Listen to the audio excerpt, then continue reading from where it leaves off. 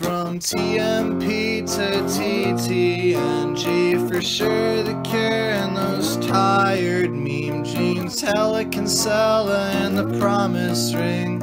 Sunny day, real estate and rights this spring. Prince Twinkle Daddies help keep the dream alive. I constantly thank God for Algernon and Remo Christie Front Drive. Mineral, snowing, high tide hotelier, and more. Rio Limo only consists of the DC emotive hardcore.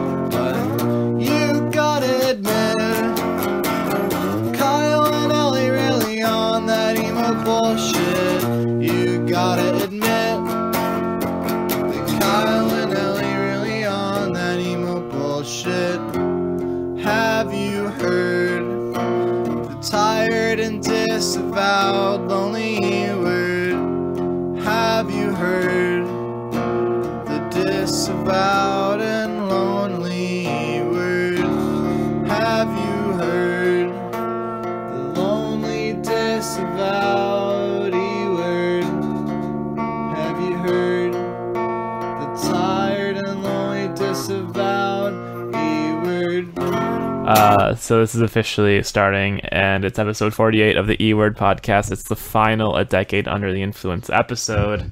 We're talking 2019. We have a great cast of people to talk 2019 with. One of those people would be Owen from Shin Guard. Owen, what's up? Not much. Just hanging in there. How are you? I'm okay. It's been a very rough week, but I'm glad to be here and doing this. Um, keeping on with our guests, they're all from Pittsburgh. We also have Alex Martin, who plays in short fictions and books all of your favorite bands. That is very true. All of it. Excellent. And then we also roped in last minute. We have Ryan from short fictions as well. Ryan, how are Uh, I'm hanging in there. I'm doing good. How are you doing? I've had a shitty week, but I'm glad to be here. And of course, uh, my friend Ellie, who is in Texas and not in Pittsburgh. Ellie, how are you doing? I'm doing okay. Uh, so the other day I woke up to a, a Reddit chat message um, from a brand new Reddit user, uh, Guitar from Stockton, and the text read in full, "You're a fat faggot," and it's hard to get mad at something because, like, when it's just like objectively true, but. to spite this person, I went on a three mile hike round trip and then ate a burrito the size of a fucking toddler. uh, Yeah, that's epic. yeah. and the burrito absolutely uh, was at least three fourths the size of the biggest dick I've ever sucked. So, you know, suck on it, Stockton. How's everyone else doing? Uh, good. It's it's nice to be talking to more than like two people at once for once. Yeah, is everyone doing like regular FaceTimes with their friends? No, No. I don't Yeah. have friends. For, for me, if I'm I feel like I'm doing more, if not, just because like I'm working with like 15 bands right now, and everyone is very like upset, confused, and frustrated. So it's just literally, it's just I feel like my days are just like four to five hours of just like FaceTiming literally everyone I work with, just making sure everyone's chill. Yeah. That's, I've been uh, FaceTiming my friends in Boston a lot because I haven't got to see them since I left school up there. So it's been, I don't know, that's been really nice to talk to them again because I love them all so dearly. So I have been telling all my friends, hey, I'm here if you need to FaceTime, and then quickly finding out that I don't actually like FaceTiming or talking on the phone. I feel that. I was honestly scared to even like do this podcast. It's okay. We have like we have like a list of things to talk about, which always helps. I wish in every conversation I just had like a list of topics to hit. Oh yeah. For real. But then Check it's also it. with conversations, it's fun because there's like numerous tangents you can go on. Oh hell yeah! Kyle had to dip out, but the other day I did a a podcast with invite the neighbors. Uh, no one cares about your band, uh, punks and pubs, and emo trash, where we just sat and talked about what it was like to do an emo podcast. Yeah, Uh, that's an all-star lineup of uh, podcasters right there. Oh yeah, it was it was fun and it was actually like really serious. So I had to turn off my persona and like not be a, a dickwad to everybody. Uh, Was which that was that what? Was that as I said was that hard for you? It was extremely hard because, as you know, like my default mode is just be extremely cruel. Yeah, I mean, Um, I, and I feel like I, I feel like we all need. I mean, I can't speak for everyone else. I need that right now. The world is so fucked up right now, so it's just like it's it's nice to have someone with this fiery comeback and just like in your face shit is you. Listen, if you're a fan, Toes. if you're a fan of social media cows being sacred incredible. or holds being barred, you're not going to be down with this podcast, all right? Because I'm I'm a take no prisoners motherfucker. Uh, check out my new special on Netflix. Are you triggered yet? Oh my god. Louis C.K. Allie, have you ever da- like have you ever dabbled in stand up before? Uh, I did stand up uh, for about three years. Oh my um, gosh. Yeah, I did stand up you out from the- are you out of the game currently? yeah, I did stand up from 16 to 19. Um, Those are and that's like Yeah. like I feel like that would be a hard time to like do stand up like being that young. hmm it's crazy because I think the first stand-up set that I ever did, which is the the one that you're supposed to bomb really hard that is actually my best stand-up set ever. And then after that, I quickly realized that I was not actually uh, very funny talking to a whole bunch of people. Um, but I would I would like to try doing it again, do more like uh, kind of like a combination of stand-up and spoken word, because I I really do like that world. Um, and I I feel like there's a lot of room for crossover between stand-up and uh, DIY. But, Yeah, no, that's that's true. I I at the uh, at the the Focellas or like any of the Summit Shack festivals, Connor is you know usually booking comedians, and it's it's kind of sick to see that Yeah. crossover. That's not something that happens very Yeah, often. yeah. So we have this docket of 2019 albums, and I just want to say off the bat, I'm really glad we're doing this episode because when we did like the best of 2019 episode at the end of the year uh, last year, I didn't really have much emo in my top albums list. Same. And yeah, I'm just now coming to realize after looking through this album that it was actually a really good year for emo. I was just being a huge asshole. I like a lot of these albums in retrospect. Um, I just wasn't in the mood at the time, I guess. Yeah. A lot of them came know. out late. I feel like I wasn't really listening to music in like 2019. I was in my senior year of college, and also booking five to ten bands at the time. So I just I don't know. I was really into podcasts and stand up in 2019. So I was I was also late to a lot of these. I know that we already kind of basically talked about it, but just to get it like on record here, like what has I hope this is the only time that we can talk about it because every podcast I've listened to has talked about it for like an hour on each podcast, but like how like what has COVID 19 like done to your bands and lives and how are you getting by? And but like I think like most importantly what I want to get out of it is like what has proven to help your bands during this? Like is it people buying merch? Is it the Bandcamp sale etc etc Uh, well, coronavirus kind of screwed a lot of things over. I was supposed to go on a tour that had a lot of good guarantees, and it was just supposed to be a great time. Then it got canceled. I was gonna put a deposit down on an apartment, and now I can't really afford to do that. So, you know, it's it's not great, but I'm getting by. Uh, started a Patreon for Shin Guard, and we have like a podcast now. Yeah. Uh, yeah. and we're gonna have a merch drop soon. So those things would help us the most. And it's also been helpful. Like we've had some articles written about us, like or like mentioning us recently, which is is pretty good. It's like good that we're still like kind of relevant on that stuff. But like we're still being productive, like throughout this time. It's it's not easy, but it is what it is. Yeah, I, I mean it's it's it's been it's been really rough. We were also uh, going to play uh, a bunch of showcases for South by Southwest, um, and then you know when all that stuff got canceled, we decided, well, why don't we just you know we had bought all this merch uh, for it, and we're like, well, let's just tour down to Texas and we'll drop Ryan off back at school and we'll come back. Everything just got canceled and we just couldn't do anything. Uh, but we ended up making a video on uh, Instagram um, it was like crazy Ryan bit that Sam called me up for, and uh, I think we sold like close to like two thousand dollars in merch, which was really nice. So that helped a lot. Um, it was very cool that people were, you know, so, so willing to help us uh, during this this this time. Um, but yeah, that's Alex. You want to take over the rest? Yeah. uh, I feel like short fictions. I mean, I feel like literally everyone in the world right now got the short end of the stick. So it's just like, no. I mean, every it's it's the first time that every band in the world is like in the same ballpark of like where we can't go out and tour. Mm-hmm. And so like, I don't know. Over the last like couple weeks, I've been trying to really like turn at least my perspective to like, all right, well, there's nothing we can fucking do right now no one can tour. Like, let's just keep booking stuff in the future through like, you know, I mean, I have stuff from like over from April to July. I had 24 tours like get canned.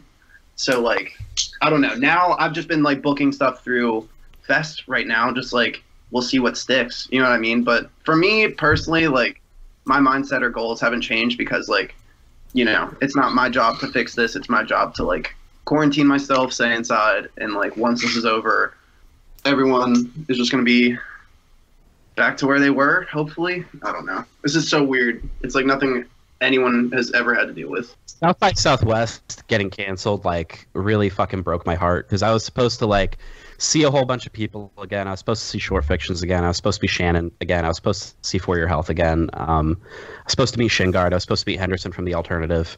So I, I feel like I, I lost out on a lot of friend time, and now I'm just stuck at like literally we're at the point now where me and Dina are watching like True Life all night.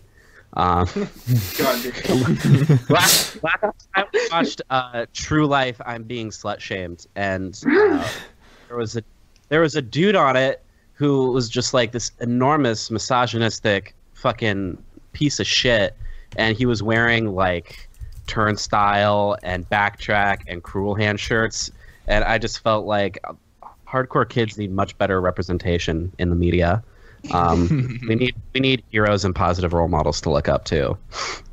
I think one thing that I've been hearing like more and more is like all the stuff that bands were investing in and lost. Like I think like there was a Dogleg interview where they were like, yeah, we like bought new cases, we printed up all this merch because we are gonna because they just put out their album, they're gonna tour like crazy, and then like they're just sitting on all that stuff now, and it's just like dug yourself such a huge hole that you didn't know that you could even get into. It's yeah. fucked up. I mean, there's, there's like there's like bands that like we know that we listen to that are like you know 30 to 40 k in the hole Yeah. for like six months of touring that just got like the Prince Daddy Oso Just Friends tour. Like I cannot imagine how much money they spent. That just like it's it's gone. Yeah. Like I mean, it's gone. It's like or they can you know sell all the shit like in the you know when touring happens again. But hmm who knows when that's gonna be right now. And like the other thing is like I don't know if people even want to go to shows once this is done. Like Yeah. like well, Yeah, like people are gonna gonna be, be like, like, a social stuff. afraid to go out. I think. if shows happen in like 2020, none of those shows are going to be above 300 to 500 cap. Yeah. Like there's no way, there's no way months after like a global pandemic that like stuff just goes back to normal. I don't know. It's going to be a lot of rebuilding and a lot of like learning how to like. I mean, I think the the Instagram live stuff is really cool. Like putting up merch stuff is really cool, but like, you know, bands and management groups are gonna have to get like really, really, really serious about trying to find new ways to like get bands media out to them within the next like six months because like I don't I don't there's it's just there's no way that touring's gonna happen like within the next like three to four. So Mm-mm. just so many rollouts just can't. It's it's frustrating. I feel bad for I feel bad for Charmer. I feel bad for you know Dogleg. Like everyone that has you know a record rollout within the next like two months from now is like really hurt. Like I feel I'm really glad that Short Fictions and Shin Guard and everyone who put out a record in 2019 did then because oh, I would I would be so devastated. Mm-hmm. Yeah, think about all the bands that are like probably gonna have something after like this clears up for the most part. There's gonna be so much music that needs to be like put out. And it's just like I don't know. I there doesn't even need to be an emphasis on like how are we gonna fix the music thing. Like right now, there needs to be an emphasis on like how poor people in our country are gonna survive like over the next couple months. Yeah, I was thinking about that um cuz like in Italy they already started doing like those that death panel thing, but there's not going to be like any sort of those decisions made in America, the decisions are going to be made based on how certain the hospitals are that they're going to be paid for it, uh, which is fucking terrifying. They're already like having prisoners like digging mass graves. Yeah, the South is going to be Shit fucked time. because Southerners don't give a fuck about this. A lot of the South is also very like poverty stricken. Places like like South Carolina or like West Virginia, uh, it's gonna be like a fucking bloodbath. Sorry to bum everyone out. Yeah. No, I mean it's important to talk about this Yeah. stuff. I don't know. That's why I'm, I'm very glad to come on this podcast and talk about music that came out last Mhm. year. hmm Anything else for the pandemic talk? Please no. Okay. so let's pivot into 2019. Uh, we start these off with where were you at in 2019? What were you listening to? How are you doing? What were you doing, etc. I was in Pittsburgh and Boston because I went to college for a semester. But I was balling off of 2020 and Death of Spring. We were on tour. It was a good time. I miss it a lot. Um, I was listening to a whole bunch of like mathcore and pretty much most things that aren't emo. Like when when I got sent like the list of all the albums we're gonna talk about today, I'd say there were about like eight that I didn't listen to. but I was doing really good last year. I don't know. It definitely was like, I'd say like the best year of my life so far. It was pretty Hell cool. yeah. Good year. Um, all right, so I was also in uh, Boston and then in Texas in the later half of uh, 2019. I go to school down there now uh, in Denton. So I go to school for for jazz music. So I was like specifically, I had to listen to a bunch of jazz music in school. It was like a requirement. On the back half, I've been listening to literally so much Scrams uh, this year. Like, It's embarrassing. yes. I know. It's like literally, it's either John Coltrane or like, you know, Saetia or I don't know. Like, it's just I don't know. It's been awesome. It's been great. I love Scram so much. I saw, I mean, Wristmeetrazor, uh, the metalcore sick metalcore band had put out uh, that Misery Never Forgets uh, this past year, and I thought that record yeah. was incredible. It was Uh, a really good Zao record, yeah. yeah, it was. but yeah, and I was doing well in 2019, and uh, yeah, I don't know, getting excited about the short fictions, uh, Fates Worse Than Death release at the end of the year. So it was a good year, all in all. I miss it. Yeah, I miss it too. Uh, 2019 for me was my last full year of school, and I graduated in December. Like, I think I graduated like a week after our record came out, and I got my diploma and our LPs like the same day. So that was like what wrapped up 2020 for me. But in terms of like music, I don't. In college, I really only listened to like a lot of podcasts and stand-up comedy. A lot of pretty much just like the bands I was working with. Honestly, I feel like it's like what I listened to. A lot of Taking Meds, a lot of Gami, and a lot of Kanye last year. Also, also last year I got into, uh, I got into Duster. Like I didn't even know who they were before last Sick year. band. Yeah. You know what I learned that fucking blew my mind? Duster is ex Mohinder. Like they have like legit screamo roots. That fucking like took me way by surprise when I learned that. That band's sick. But yeah, I don't know. 2019, I felt like I was just like on an autopilot mode because a lot of it was just touring when I wasn't in school, and there was just like a lot of school. That's all I remember. It was it was pretty much just like me dissociating through through college. Hey Alex, who's your favorite stand-up comedian? Ugh. I, I might get so much shit for this. I really like uh, Chris D'Elia. I've been hearing a lot of people like that I wouldn't expect to like Chris D'Elia liking Chris D'Elia. I think Ari Shaffir is hilarious. Like I'm sorry, I think he's so funny. Kyle, where were you at in 2019? um 2019 was a good year. It was like probably the busiest year of my life. Just like doing this being in two bands uh being in a relationship that was getting serious. Um it was extremely busy. Uh but it was ultimately like a really good year. I wasn't listening to much music. I think i basically listened to everything that was on this list and nothing else and I'm yeah sorry.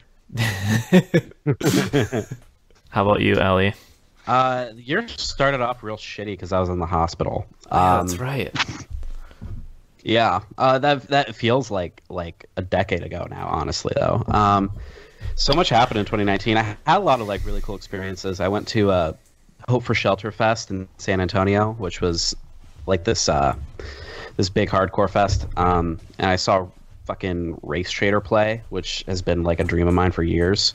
Saw saw a lot of bands that I was expecting to never like really get a chance to see. Like saw the Get Up Kids, which was dope. I don't know actually now now that I think about it whether this was this year or last year, but I saw Touche Amore for the 28th time, which was amazing.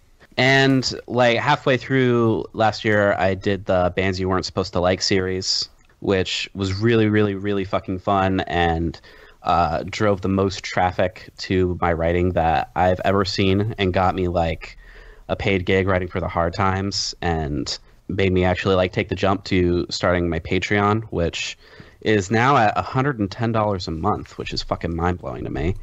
Um, and now that I am like out of work uh, and on unemployment, I have time to start doing YouTube channel, which hopefully will boost that, make me finally fucking self-employed, like I've been wanting forever. Um, so all, all in all, I think 2019 was a really pivotal year in my life, and I listened uh, to a lot of shitty scene core from uh, the early 2000s, as well as uh, shit tons of hardcore and screamo. And looking at this list, the, these were albums that I like gave like a mostly a passing glance to, but uh, revisiting them, um, I'm really excited to talk about a lot of them. Uh, so any significant observations about emo in 2019? I added mine in here already, so I'll say that like DIY went absolutely crazy this year. Um, I think in the 2018 episode we said that it, 2018 was kind of a return to DIY. There was a lot of bands like starting off their relatively big tours playing DIY spaces in basements, etc. Um, I think in 2019 we suffered from too many bands and uh, too many bands uh, clout chasing. To go on about that, I just think like every band kind of acted like they deserved to be as big as the bands that they look up to and stuff. I don't know how else to put it, but I just kept seeing it last year specifically. No, I think Yeah. I, you know everyone going out and touring and learning how to do it themselves and facilitate these own tours on their own. I think I don't know. Kids get really hungry, like to to be able to like do the things. I mean, there's been so many bands that are now making the jump from DIY to like the bigger stage, which is like something that hasn't really been seen before. But I feel like Mom Jeans was like the really first big one to do that. Um, and there are like a lot of cloud chasers, but I feel like for the most part, it's just like a lot of kids who are really trying to go out and like do something because they can. And I, I mean, I kind of admire it as long as they're not being a fucking asshole. It's like, you know, go out and do your thing. Just don't be a dick. Do you see any bands like trying to be competitive in that sense though?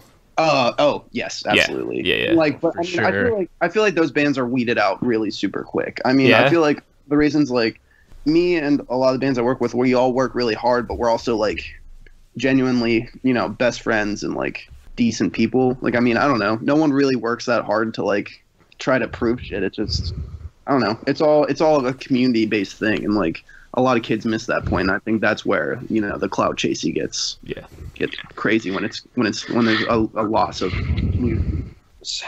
Well, yeah, I was gonna say like cloud chasers are like pretty easy to weed out. Like we, you know, like you you you can you know it when you see it really. And All the Yeah, Alex Martin bands are cloud chasers. honestly, Oh, I love Cloud. Cloud is sick. cloud is the I root think- of all evil. Cloud, I think something a, a lot of people are missing about the clout chasing thing is like I think in 2019 it kind of became like kind of a way of life for people because that's how you survive on the internet now is just by like accruing clout.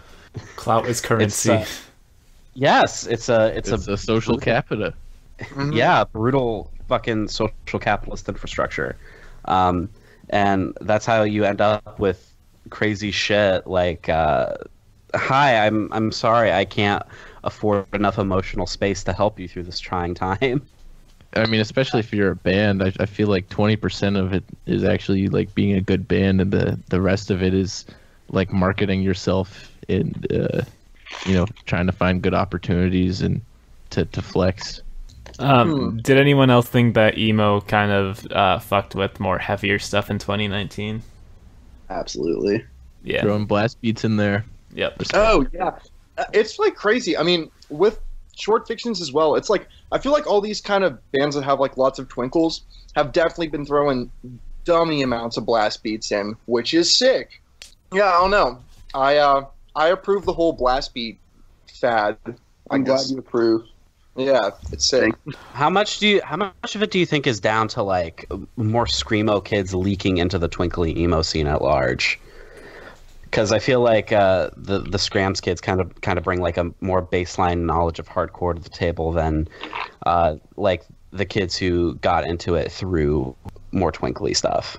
It's it's interesting because it's like in short fictions at least I feel like I feel like me, Sam, and Alex Barkley uh, and Shinpei are like all very much so like into the whole scrams thing and like that entire lifestyle I guess if you want to call it.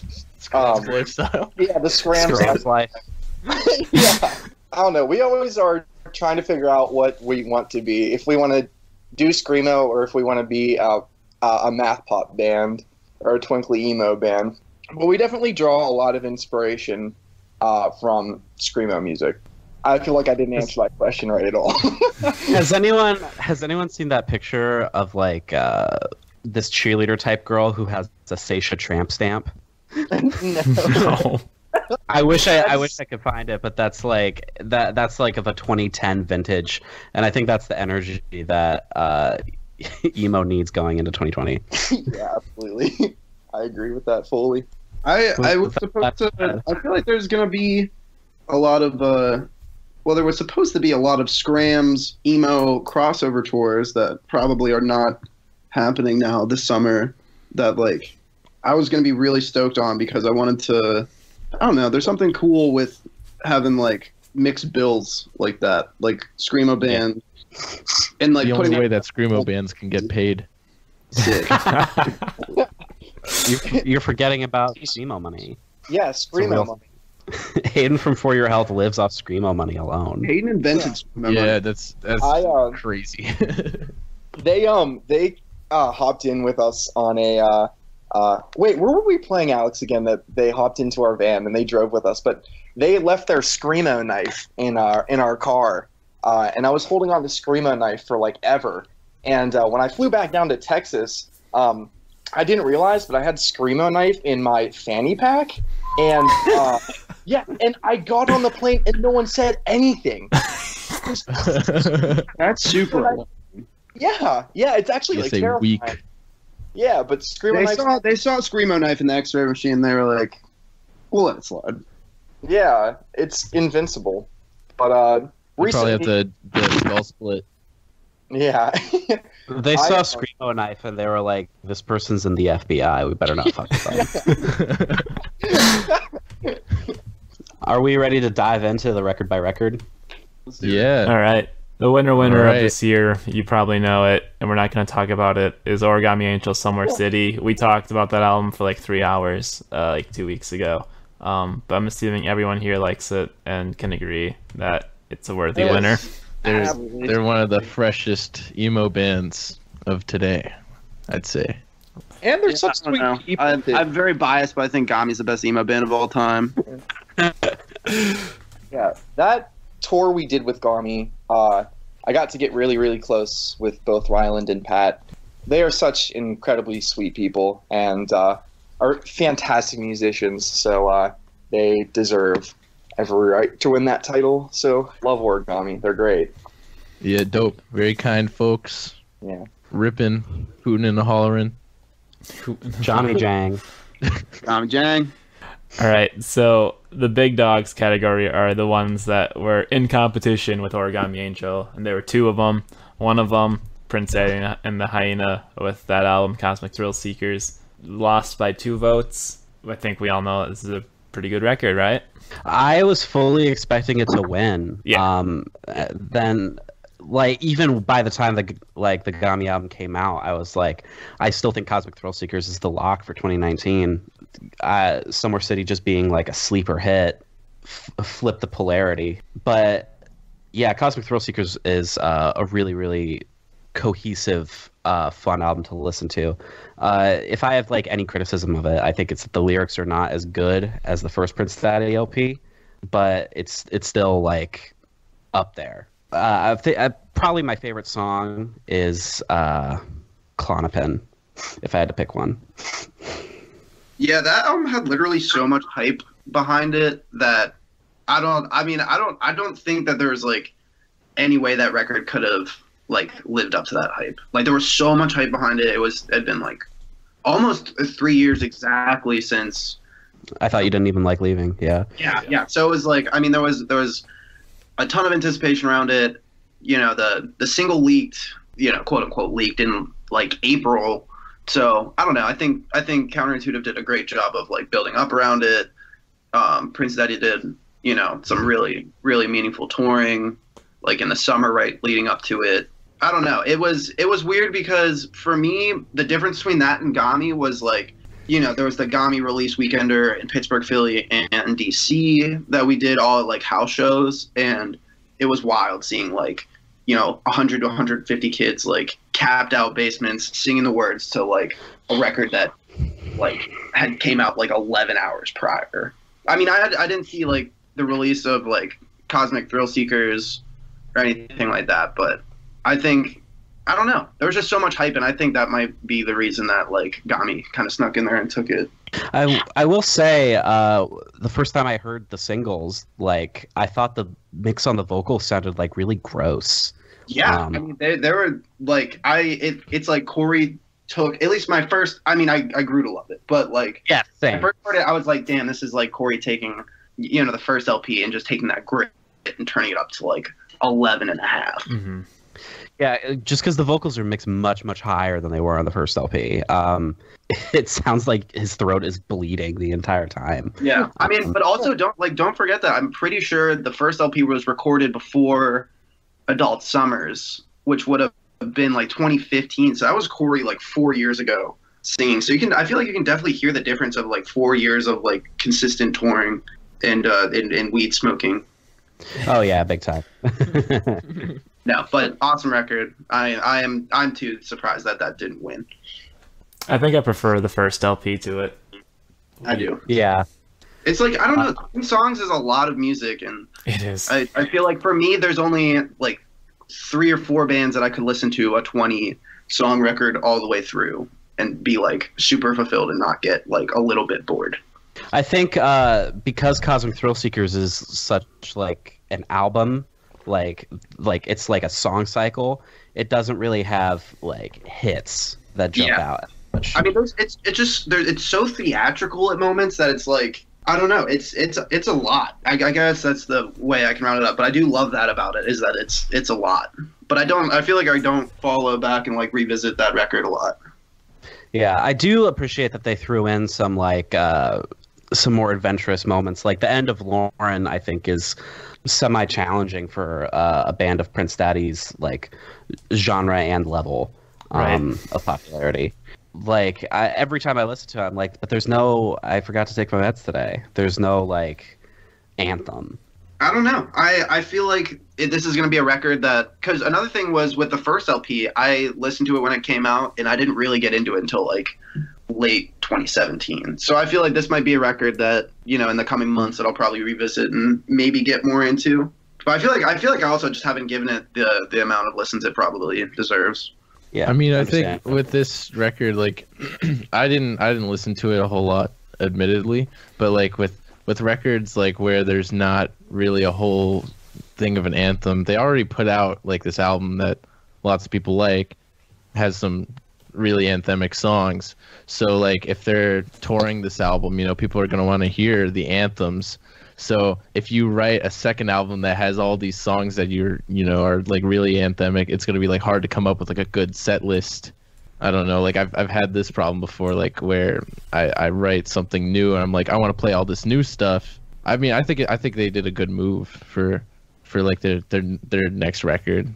Well, the thing they were doing when they first started touring on it was they were playing like Cosmic Thrill Seekers all the way through and then doing like a little greatest hit set at the end.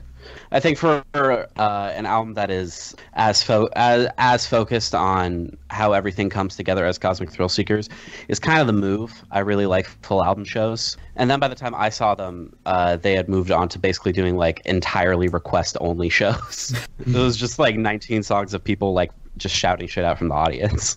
It's pretty sick. All right, the other big dog is Pitchfork's favorite emo band, oh Oso Oso, oh Basking in the Glow. Best new music on Pitchfork. Like a, what did it get? Like a 9.1 or something? That is wild Yep. to me because Yunahon mixtape is like one of my favorite emo records of maybe all time. Like I, I feel like that is one record I come back to on a weekly basis and have been for like the last two years. And Basking in the Glow, I don't know. I mean, Jade definitely has like ways of writing songs where it's like you hear it and you're like, oh, that's a you know a formulaic Oso Oso song. But I don't know. There was just something about Yunahon mixtape that Basking in the Glow didn't have for me personally. And I'm not. I can't. I don't even know if I can put my finger on like what it was because I don't. I don't think I listened to Basking in the Glow, you know, nearly as many times as I listened to Yunahon mixtape. So obviously this record was like big, otherwise it wouldn't be like in the big dog category. But I'm surprised it wasn't like kind of like a mainstream sort of breakthrough for Oso Oso. Like just considering how much hype Yunahon had behind it, and they moved to a bigger label, and uh, the songwriting took like a much more polished step forward. The songs are also super super accessible. Like, yeah, Mhm. Really don't. It it was the the bleed American moment for Oso Oso, I think, or I felt like it was kind of supposed to be that. Yunahon is the clarity; it's the cult classic, uh, but I was expecting this to be, like a fucking huge record. I'm not gonna say it like fell short of expectations uh, musically because it's like a really easy, fun listen, but it, it does seem weird to me that it didn't like blow up. I feel like there were also like a lot of challenging moments that uh, Yunahon mixtape didn't necessarily have.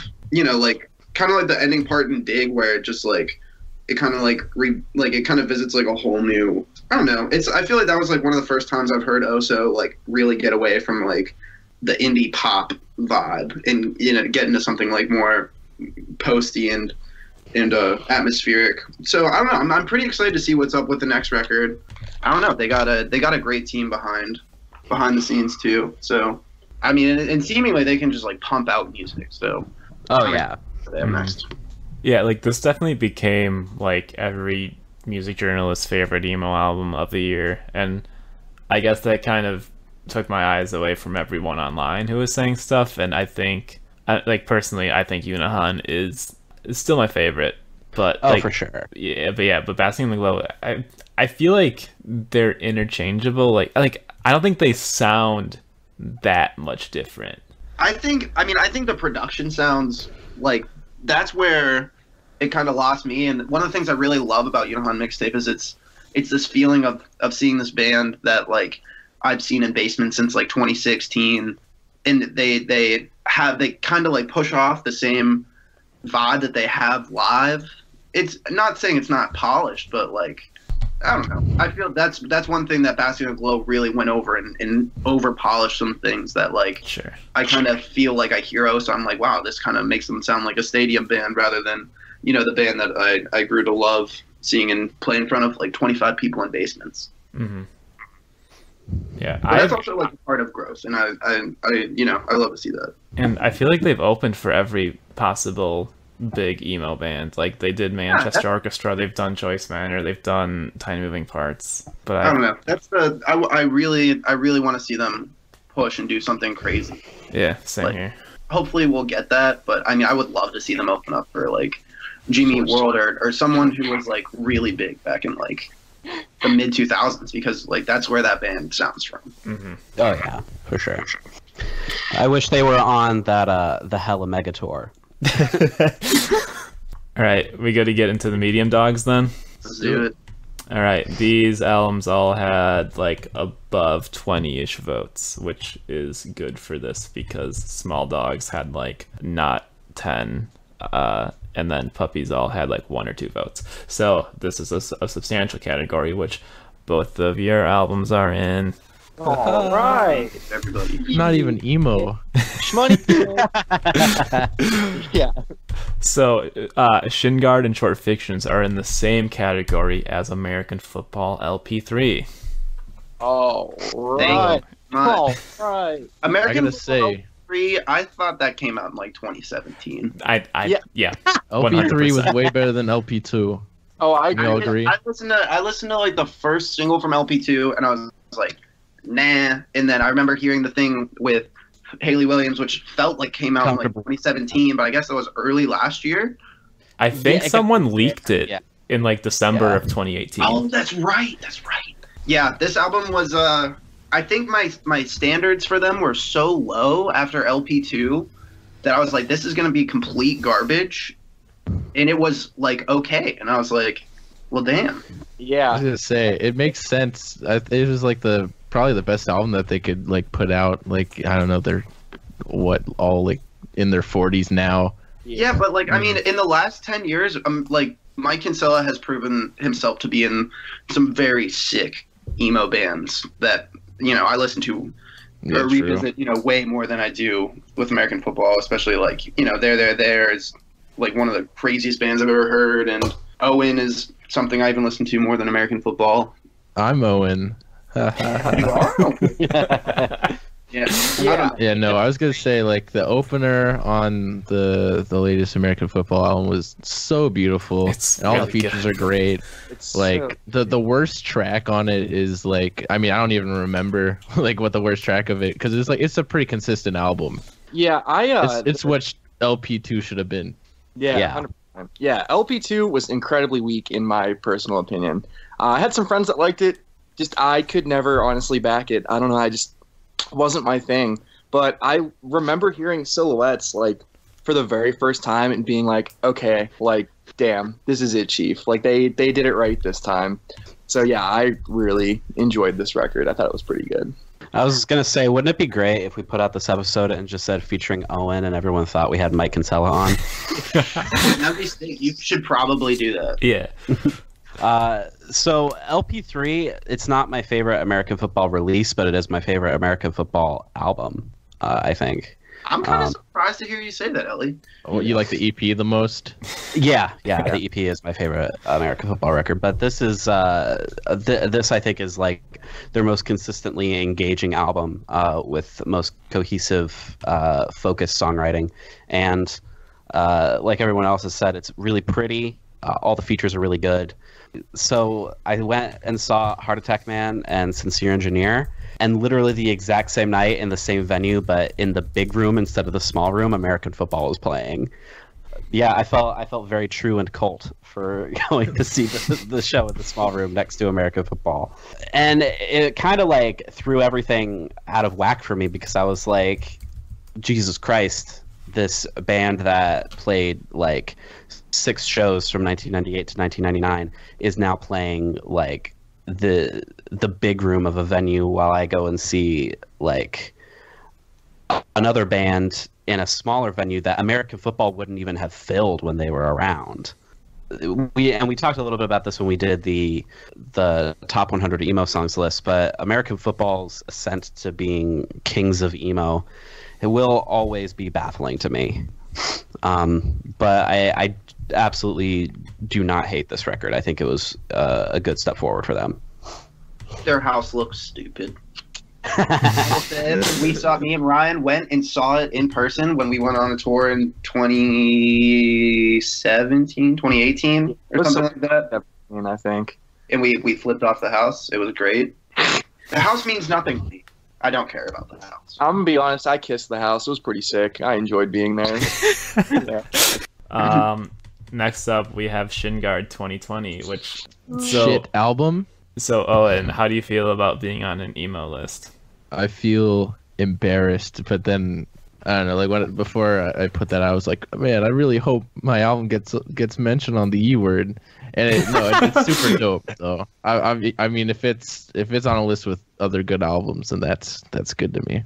I mean, to to be fair, is, is crazy and off the wall is and not emo as 2020 was. I mean, just merely two releases ago, Shin Guard was pretty much an emo band.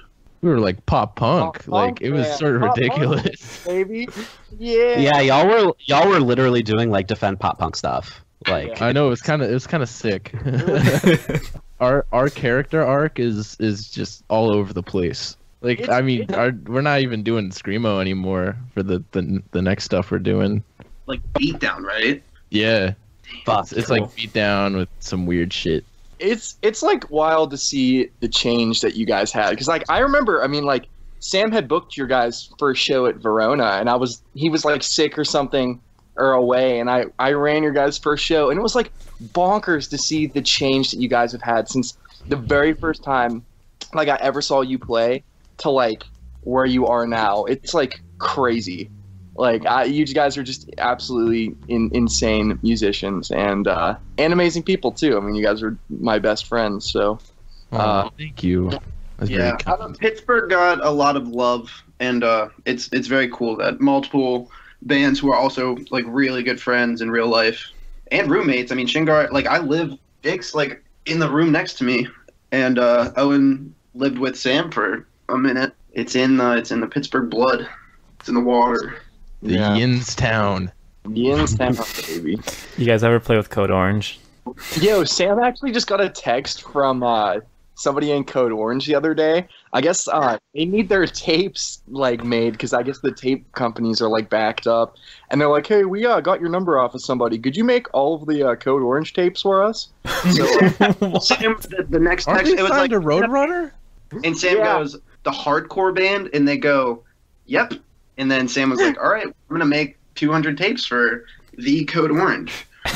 That's sick. That's If that doesn't get sick. us fame. I don't know what will. Uh, I think it's pretty well documented that Kyle and I both fucking love this record. And as far as character arcs go, I think Shin Guard is like the fucking Sasuke of DIY. And just keep getting more and more deadly with every release. So the goal. Our Yeah. next album is a laxative. Did you find the brown note? Are you going full Emir worship? It's this is like a it's it's almost like a, a whole nother band like this next album. Like it's not gonna be remotely screamo at all. I I don't know. It's gonna be sick. I'm feeling really confident about it. And with this quarantine, like we have more time to to work on it. So that's cool. Uh, next up, we're going international. I love your lifestyle. The movie. This album is really fucking good, and I don't know if a lot of people Sweden, heard it. right? I definitely did not hear this. I This band, this Sam bumps this band in the in the van, or at least was like the last two tours. They're from. Uh, are they from Sweden? Or, Yeah. like, Yeah. Denmark? Gothenburg.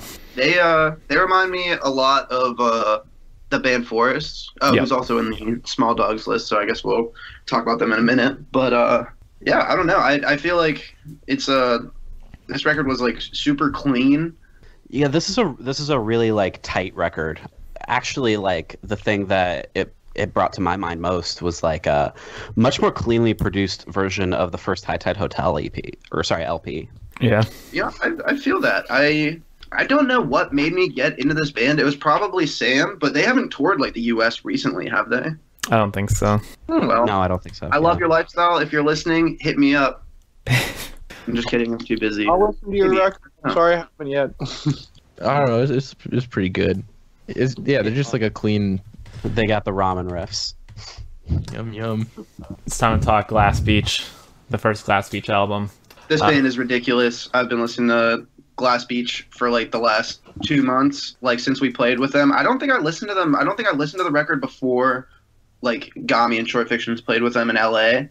Like it was literally the most ridiculous show I've ever played, and uh, Yeah, that shit was bonkers.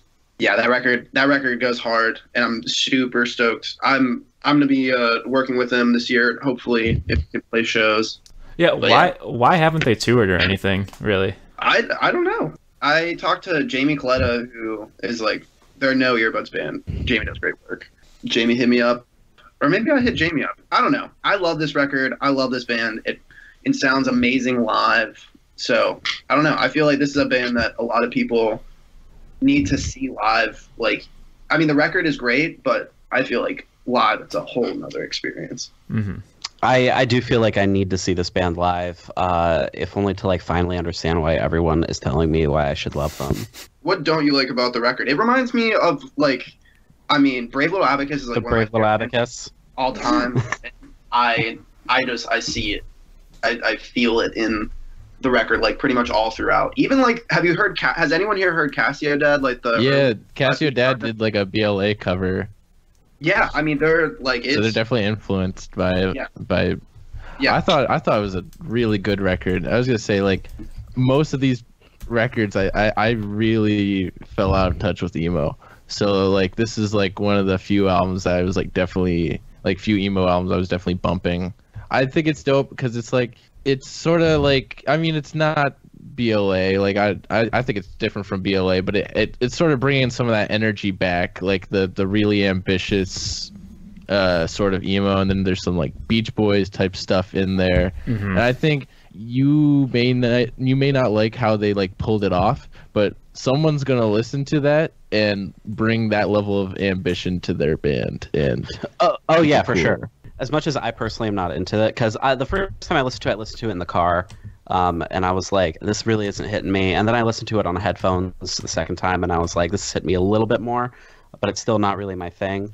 Uh, but I do think that they are like the crest of like a, a new wave that's happening in emo because they are doing like innovative, interesting shit, and um, I think more more bands could take a cue from going all out like and being quote unquote too much you know like I, I we need more like overwhelming songwriting in emo oh, definitely. And also like, I mean, they they don't seem to like tour a whole lot. I don't know how often they play shows, but I'd imagine like the more that they play shows and like build more of a chemistry, like I think the next thing that they'll do it'll probably be just as ambitious, if not more, and then they'll have potentially more chemistry with each other. So I'm really excited for what they have in store. I think like all the instruments are like very fucking tight. Like the bass is insane. Like the guitar is insane. Like I think like uh Jay put out like a tab book for it and people were like, What the fuck are these chords even? Like they're like all like made up or something like that. It's like Um, galaxy brain chords. Yeah. Uh, I uh, so William, the drummer from Glass Beach, uh, they just hit me up to uh, take drum set lessons uh, from me, which is pretty sick. Huh. Um, but they're a super, absolutely incredible musician. Um, it's cool because they have this mindset of like they want to serve the music as best as possible, which is a really rad mindset for drummers to have because you know I feel like a lot of drummers have this whole idea of like they need to play the most complex and like flashy shit uh, you know, just to show off. But I feel like true, I don't know, musical maturity is in the playing what the right thing is in the right time. And uh, William definitely uh, has that. So, uh, yeah, I don't know. They're great. Super Yeah, I think one of the cool things like about that band is like just like the there's a lot of tongue in cheek lyricism, but also just like the way a lot of that record moves. And it's it's that's another one that's like super long, but unlike Cosmic Thrill Seekers that I just get like it's like almost too long. Like Glass Beach just finds a way to just like keep me enticed every time I feel like a little bit slowed down. And I think I think Classic J Dies and Goes to Hell is like one of my favorite openings to a record in quite some time. So I don't know. I feel, I feel like that band is going to absolutely blow up after, you know, the touring gets there. But I, I, my goal is definitely to have like everyone who can in America see that band because it's. I think that will, like, listening to the record is like, okay, maybe I get this, and then seeing the band live and seeing their chemistry on stage with each other, it's like that's like one of the things where you're like, oh shit, I get it. And if there's anyone like really into this record, Run for Cover put out like an hour and a half documentary where this band goes in and talks like in depth song for song, which is like kind of cool if you if you're really trying to like dive in and and see like how the band came together and like wrote that record. That could have been Oh, us if you voted for them, people. and the last medium dog, short fictions, Fates Worse Than Death. Ew. Band sucks.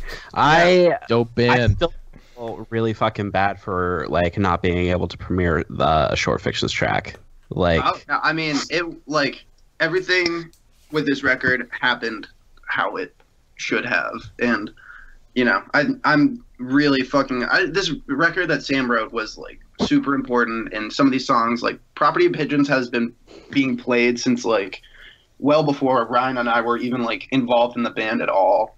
I don't know. It's this record is just so long in the making and has such an important voice to it that's like whether we're playing in front of like 15 kids in a basement or you know opening up for a bigger band like Gami and playing in front of like 100 to 200 a night i mean we're going to go out every night and still uh, scream the same message just because you know now we finally have like after sam started the band what right in like 2015 so it's like yeah. sam's been working really hard to get this you know platform to say some really important shit and i think that like i think this record did and like i don't know the record talks about the world ending which is Literally pretty happened. applicable to now yeah so it, mm-hmm, like yeah. even if i wasn't in the band this record would be like one of my favorites probably ever. I feel like this record like makes me feel like even when sam sent me the demos like two years ago now it's like i heard these and i was like damn like this record has made me feel like the way like three or four other records really have. So sam i know you're listening. Thank you for letting me be involved in your band. To say uh, those songs have been around for a while and it's great now that they're like immortalized in this dope album. And like i mean i've been seeing yins for like like three years like you got so much tighter as a band and like seeing your come up's been really awesome. Highly regarded band in pittsburgh. Really good really good stuff. Yeah i don't know. I feel like our band overcame a lot like prior to this record coming out like over the oh last definitely. year and a so it's Yeah. just like we're going through a lot of shit like everyone in the band. And uh Really chaos. i'm excited that the record came out when it did because like if this if we had waited like another six months and this is like when the record would be coming out i, I would be like heartbroken. And i don't know our band we just all love each other so much and it's it's just more of like a family than like i feel like i've ever had. I'm very very thankful that like people even like listen to the record that ian cohen listened to the record that like we have had the ability to just like go on tour and like we'll buy our merch and Yeah, this record is uh, the three big E's. It's uh, environmentalist, existential emo. Um, it, lyric, as far as lyrical concerns goes, uh, y'all are familiar with uh, Snag, right? yeah Yeah, like Yeah. definitely like treads in that same territory of just like uh, extremely anxious mindfulness. Um, but like just on a musical level, I feel like there's like a kaleidoscope of influences. Um, and the songs all go every which way, uh, but it, it it's tight, it's cohesive, um, and it's just like a roller coaster ride of an album. I I fucking loved it personally. I'll have from the second that I, I got the I got the leak from Alex Martin i think from from Amart. really uh, surprised by the next release Yeah, I so when this when we were recording this record, it was a it was chaos. It was pure chaos, honestly. And uh, I was kind of super iffy uh, and nervous about this record for sure. Um, but I remember when we got the final masters back, I felt very confident in it, and I was like, you know, I actually can, you know, I, I'm proud of this record, and you know, Sam's writing and everything. I mean, absolutely uh, um, amazing uh, writer and musician. Yeah, the, you know, uh, this is the first record I ever played on. This record has a very special place in my heart for sure.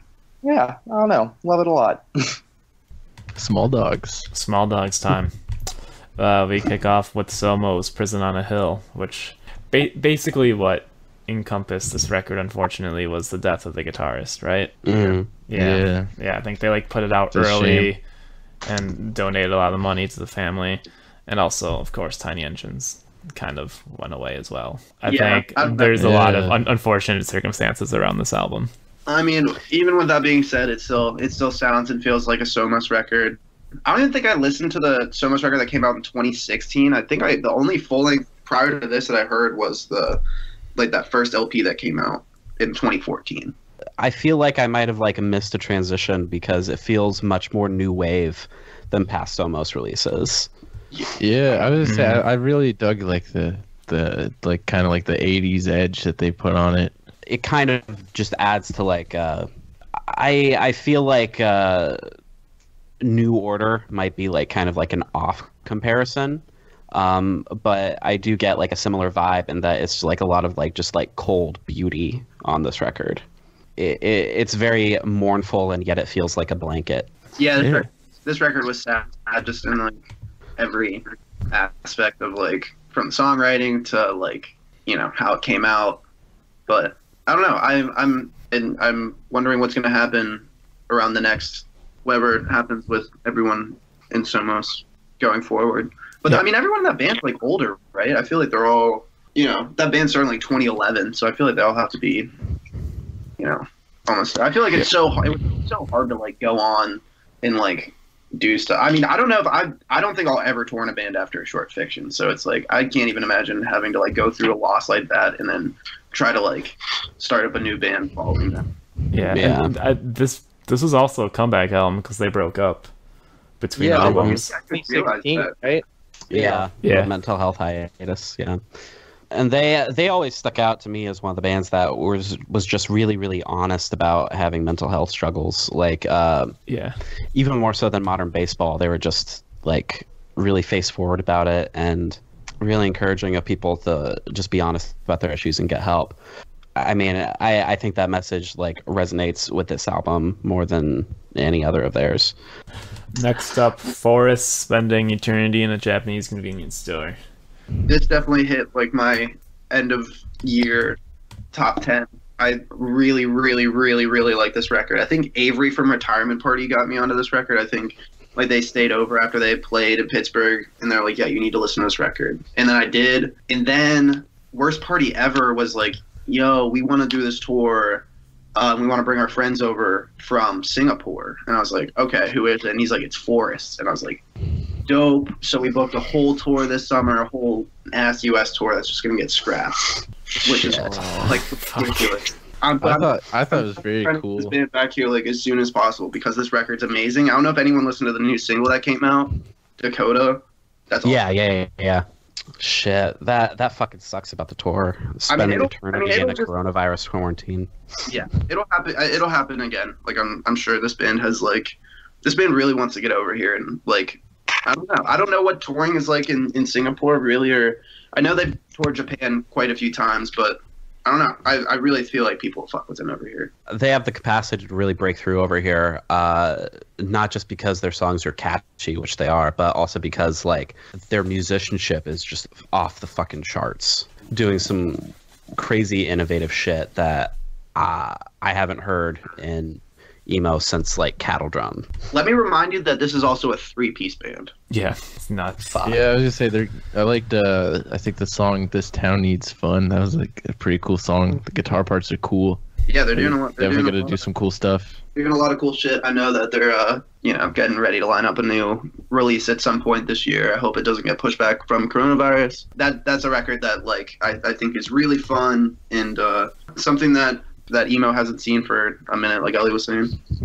Yeah, I think uh, if the band keeps like pushing in the direction that they started with this album, they could like become a full-on psych emo band. Yeah, That'd be super cool. who would uh who would like if they came to the U.S. and toured with like a bigger band? Who would you like to see them opening up for in like a 500 to like thousand cap room? I think it would be really cool to see them with maybe like one of the one of the post-hardcore bands that's kind of like vibing right now. Like, I think it'd be really fucking cool to see them on a tour with like Drug Church. That would be I so sick. Yeah, I think I think the That's like I think the vibe would blow people's minds. yeah i don't know i feel i feel like they have you know not being a post band at all they have like they have so much intensity with like none of that coming from like a distortion end in the record um but yeah i, I really really fucked with that record Like they and it's not like they're heavy at all, but I could see like people crowd killing to the Twinkles. Like they're nuts. It's a really fun record to like just like close your eyes and like visualize the guitar too. I was gonna say good tone, for sure. It's just very very cute sounding stuff. I like it. Hell yeah. Uh Makasal, as you've written here. No, that's funny. That's funny. uh this is the first Macseal lp right like they put out three eps Yeah, I don't know how I feel about this record. I feel like it wasn't something I like came back to a lot. I do remember like like there were the singles I remember being super catchy and then I remember liking some of the songs that weren't as single like that weren't released as singles because they had a lot of like callback to old Macseal stuff with a lot of like the you know the tappy and the pull offs and a lot of stuff that they haven't really revisited since like the first or second Macseal release.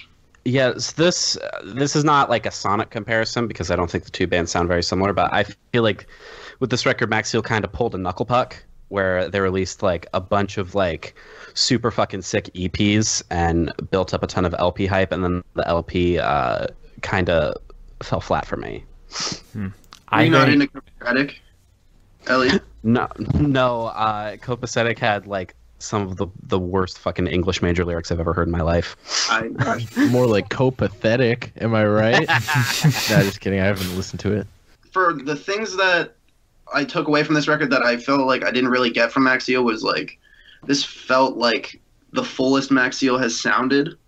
Like I feel the first the first couple releases, except for like the last the first EP that was released on six one three one, I feel like was their most overly produced Mhm. release, and I feel like this kind of went back to some of the like the less overproduced stuff, which um, I like. And I feel like this band did like a lot of touring last year too. I Oh think yeah, for sure. with them like three times. They did a big tour with uh, Free Throw. They were Oh. like the opener on it. That's right. And I remember they came through with like "I'm Glad It's You." Yep. Yes, that tour played the DIY hardcore venue uh, in Austin, Yeah, I which mean, I, I, thought was dope. I, I do. I, I really enjoy seeing Macseal live, and I, I think uh, I think the record, the record's just very mellow, and seeing them live, I don't know. I feel like that adds a lot to it. But I think I could definitely say that I, I enjoyed hearing the songs live more than I did like on record. I like it just as much as yeah, no, I know. I think like I listen to this album like a strange amount, like like a- like a lot, a lot, and I don't know why. I think it was just kind of comforting to listen to. I I I think it's very fucking good. What was your favorite uh, song from it? It's The one where the chorus is like Harry. I don't know Oh, what song oh, that. I don't know oh. which one I, that's I called. think that song's called Harry. I think the thing I like about Max is like all their songs are like ridiculously catchy, and also just like you know exactly what's Oh coming. fuck, next. that's not even on this album. My bad. Uh, always hate these. My favorite one. I think Mr. Ink's my favorite one because that's that's the most riffy thing yeah. on this record, and this record just all in all feels like an indie pop record more than anything else. Yeah, I think like the way that's produced definitely does sound like that. I think a thing that I really like in emo is like multiple vocalists, and they've got that co-vocalist and co and co-songwriter thing that I think really uh, makes it more engaging to listen to. An album I haven't listened to, Tiny Moving Parts, Breathe. I Let's gave, just skip this one. Yeah, Let's go to the puppies. all right, uh, the puppies. These all got Yeah, like like- one one to two votes. Um, there's some really good albums in here. Insignificant Other, I'm so glad. Great album. Yep, I counter cannot believe counterintuitive got release. one two votes. Yeah, I know. It's better than emo. I think it's my favorite counterintuitive album. Like Yeah, I, I- don't know, it's just super catchy and the, the little vocal rounds on the first song. It's really good. I mean, this album's emo adjacent, right? I believe so. yeah, uh, Genre. this album, this album starts off like really pop punky, I think, and then it kind of like flows into the more emo adjacent territory. Yeah. And the song Freya has some like interesting use of uh, electronics on it. It's just a, I, I think it's just like a really fun record. But I wasn't, I wasn't huge on it. The record I was huge on though is definitely Tiny Moving Parts Breathe, fucking best album of 2019 in my opinion. Up there with Blink 182's California. Oh, Nine. hell no. Uh, yeah, I don't know. Insiggy is one of like my favorite live bands I've ever seen. I don't know. Has anyone here seen Insignificant Other live? No. I've I- always missed the chance to see them. I'm so bummed. They're another band that we had hella stuff booked this year, this summer, and everything is scrapped. So I have no idea when they're going to be coming through, but they're on Fest this year, which is sick. They're from Florida, right? Yeah, they're a Gainesville band actually. Oh, sick. They're in Birmingham now, but Yeah, I was gonna say wha- We uh, they were house. They were there when when we came through Birmingham in January. Yeah, I was I was gonna say I think actually like Insignificant Other feels very much like what what a fest band would be like if like the style of fest hadn't stagnated over the last 20 or so years. um, like I can def I can definitely hear like discount and like mid to late period hot water music in their sound. Sorry, I just had the their their dogs are so cute. Um, Oh yeah, they are. you know, there's this Cute one dogs. dog, like its little tongue sticks out. It's just so freaking cute. You know, it's it's awesome. All right, sorry. All right, free throw. What's past is prologue. Um, I think a lot of people have jumped ship on free throw. I think this is way better than the album before it, uh, but it's still just like about a six out of ten for me. Yeah, I didn't really care for this album. Yeah, this sounds I've, kind I've of never dog listened to them before, so I I listened to this for the first time yesterday. I barely made it through the whole thing. It's uh, it's an exhausting record. it's really a shame because Free Throw had such fucking promise. Early EPs and the first LP just like have so much energy and potential. It's like And essential that- emo. Yeah, yeah. It just uh, it, it they they saw like kind of like the dip in DIY that was happening from like 2015 to 2018, and they were like, okay, let's let's just like ride the wave and become pop punk, and it it it just hasn't worked out for them songwriting wise. Um, but I, w- I will say they are definitely still better than Hot Mulligan. Oh yeah, Alex. Remember when you were like begging me to play drums for Jimmy Mayo so you guys could open for Hot Mulligan? And I Yeah, and guess what? We did, and it was sick.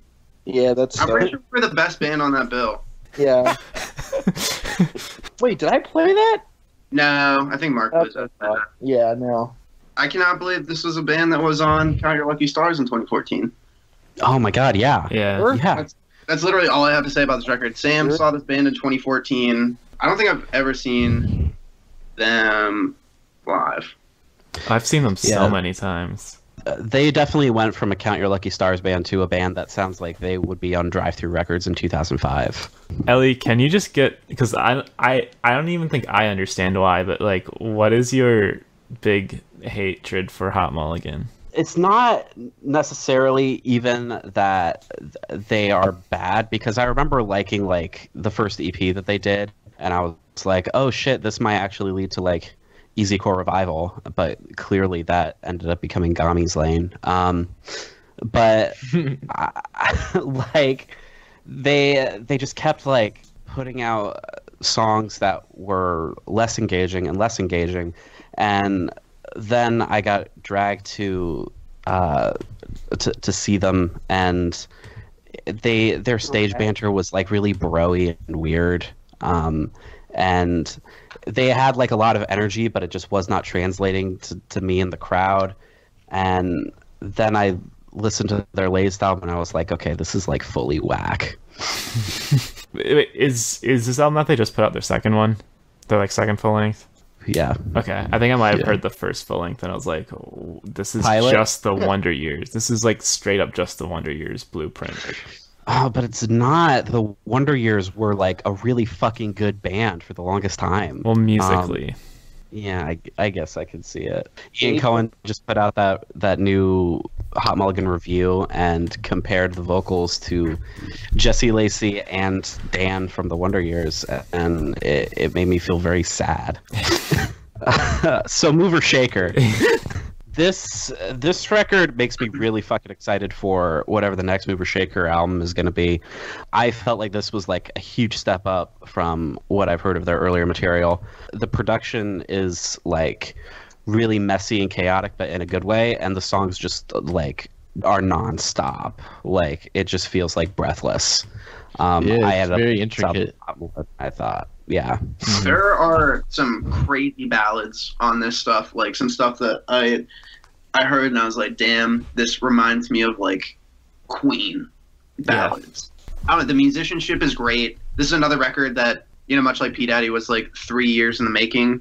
So I don't know. I I I kind of wish there was like I felt like there should have been more hype around it. It kind of just like snuck out on Skeletal Lightning. Like there was really no Mm. big press around it. They got to do a Audio Tree, which is really cool because I don't know. I feel like that's a good way that with all the touring not going on, that people can really uh, dive into those songs. Yeah, they're so tight live. Like, definitely you see them live if you had the chance. Like, I, I definitely think this album should have gotten more hype too, because it's again, it's one of those very like intricate, impressive, ambitious albums that will inspire people to to try harder. Yeah, I don't know. Mm-hmm. I feel like for a long time, Mover Shaker has been like your favorite band's favorite band. I, I mean, I feel like it could just come like any day now with this record that someone could just be like, "Yo, this is the next big record," and they could. I feel like this band could. They're so versatile; they could literally go out with anyone. Yeah, they're like making a hardcore album. I heard. Yeah, yeah, they're pulling a It's gonna pool. be sick. I was gonna say everyone should just stop doing emo. Gonna make this podcast to the H word. Let's go. That I've been trying to do that since fucking 2016. All right. All Are right. we? Are we move on? Yeah. Future Teens breakup season. I've unfortunately only listened to this album once, and it was on the day that it came out. But it's uh, very catchy. I thought you you shouted it out in your favorite albums of last year. No, that was Tyler. Jesus Christ. Uh, but I I just because of that I like revisited it and it's very very fun. Like just good good no frills catchy indie rock. It appealed to me greatly. Yeah, I, I feel like this band is. Uh, I feel like every every week they get announced another big tour with like whatever band is like on top. I mean, they I think they've toured with the Wonder Years like multiple times, and now they're going out with uh, Spanish Love Songs, who Mm. you know, put out like that big record. I, w- I mean, I wouldn't be surprised to see them do something like ridiculously crazy in the fall. Um, Yeah, wasn't that tour Future Teen Spanish Love Songs and Pup? that'd be- very big tour for them. Yeah. Anyone else listen to it? I didn't listen to it. No, I didn't listen Guilty. to it. Wah, wah. it's very those it's very well produced. It sounds great. Yeah. Um, I listened to it in the car with Dina, and she didn't like the vocals, but uh, I actually like the vocals a whole lot.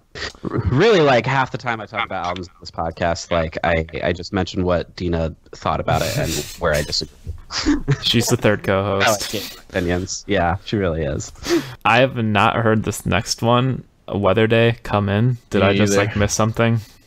Or is this Oh, someone that big time. I think they're a they're a band from Sweden. Sweden. They're they're sick. I I think they remind me a lot of uh, like Glass Beach. Uh, like kind of. I didn't I didn't even know this band existed until. Wait, Anthony Yo. Fantano reviewed this album. Mm. oh shit. Damn. Um, so Weather Day is a, a project by uh, someone I am friends with on Discord named Sputnik. Um, and their entire persona, everything from like the music to their appearance, is just like androgynous alien angel. I I really feel like the Glass Beach comparison is on point, but I like this way more than Glass Beach because it's the production is much like fuzzier and deliberately challenging and lo-fi, uh, and the but the songs just like are so catchy that they like break through the the fuzz. Like I remember reading like a ton of reviews of like 90s indie rock bands where they would say, "Oh, these are fractured pop songs," but th- this actually is like the fractured pop song thesis uh, come to life. And Sputnik also does an electronic solo project called Lola's Pocket PC that I highly recommend everyone check out. Um, I'm really excited to see what this band does next. Are they doing anything else this year that you know of? There's a there's a there's a demo for a new song that I've heard that's really good. Um, but uh, I I just really think that what they're doing is very unique within the scene, and uh, I I'm excited for them to blow the fuck up. Can't believe I didn't know who this band was until yesterday. Cool. And then I added on a special care special category of why anyone vote for these because they're obviously big records for the scene, but did not get a single vote. One of those is Wicca Phase, one of those is Greet Death, and one of those is La Dispute. Ryan's about to go, go off on La Dispute. Oh, I would definitely go ham on that record. so, personally, when that record first came out, it just so La Dispute's my favorite band, uh, and it didn't grab me at at all. I really didn't like it. Um, but the more I started listening to it, the more it started to grow on me. Now I think it is an absolutely uh, an incredible record. Um, and I think it's just like a kind of a follow up to Rooms of the House too. Like I just, or it is Rooms of the House too, basically. I don't know. I just think that the theme on this record is absolutely incredible. I mean, a lot of studios always had incredible themes on all of their records. So yeah, I don't, I don't know. I, I think this was a great record as of right now. Super good. I don't think I listened to this record. I think Yeah. I listened to it once. I gave it a once. Mm. I I don't like this record. La Dispute sounds like Hobo Johnson. Whoa. I only really care for wildlife. you say that. I will say though that I I don't listen to this record. I really don't even listen to La Dispute that much anymore. But especially if I had to pick the record I would like the least, it would be this one for sure. But I still do like it.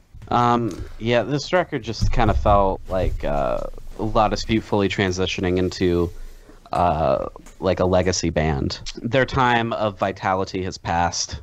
It's weird because they're really good friends with Touche, but Touche keeps putting out records that feel like very fresh and visceral in, in the moment. But a lot of dispute uh, and not to not to like bag on their approach to songwriting because I I do appreciate that it feels very considered and um, everything seems to be like well thought out and well paced, but it just does not it, it doesn't feel like necessary to me.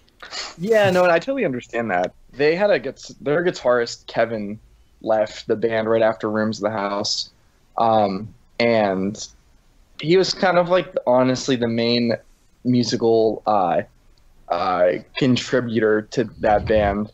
Uh, he he basically wrote like everything. So when with him leaving, uh, I feel like that definitely, uh, you know, affected uh, their songwriting a lot. So slightly disappointed for sure. Yeah. Jordan Dreyer's still a cutie though. Oh, absolutely. Yeah, for sure. I really like the album cover. Yeah, it's cool. It's the best part of the album. Uh, Greet Death. I've told Ellie this, and I think I said on the on the end of the year episode, but I think that album is gonna be like a classic in like four or five years. Yeah, I think I think this is gonna be like the hoteliers no place. I I don't know. I think this record is just like excuse me, like everything that they did in their prior record, which I think was called Dixieland. Yes. Everything that they did in that record, they just took it and turned it up to like absolute max on this next record. Mm-hmm. And they're another like band that has an audio tree that just like absolutely blew me away. Yeah, And I wish same. they'd done that whole record on the audio tree because like, you know, that record being an hour long, that's another one that like I just I feel like I need to listen to that record the whole way through it. It, it feels like I don't know why, but it, it reminds me of just like explosions in the sky, not in the sense of music at all, but just like in the sense of how that record flows so softly and then just like punches you in the face and then Yeah, you know back to just like I cannot believe no one voted for this record. I, it it's very head scratching to me. Um, so I saw comments on their audio tree that kind of made me upset, but I also like see them now. Like, so someone was like, "This band is just a carbon copy of um, Cloakroom? Yes," and I was like, Yeah. "Oh God, they're right." That's sort of what I Was it you? I mean, I thought it was like Were you the one album. commenting? I didn't comment. I I am not one of those types of people, but it, the comparison you you could definitely tell they take influence from Cloakroom. That's like when I listened to this album, it was like it was like pretty okay, but it just like put me in a Cloakroom mood. But like the person was Ah. like, "No, they are using the same bass rig as the guy in Cloakroom now." W- e- either way, I like Greet Death more than Cloakroom. Oh no, I love Cloakroom so much. I don't love Um, Cloakroom, but I like them. If audio tree comments make you upset, I would fucking hate for you to read hate five six comments. My Oh, god. my lord. Uh, they the hate five six comments on like Foxtails videos or Oh my god, yeah. yeah, yeah, just brutal. Um, but anyway, I thought this record was okay. I I think the production was very dry, and so the parts that were meant to sound heavy, I don't think sounded heavy enough for me.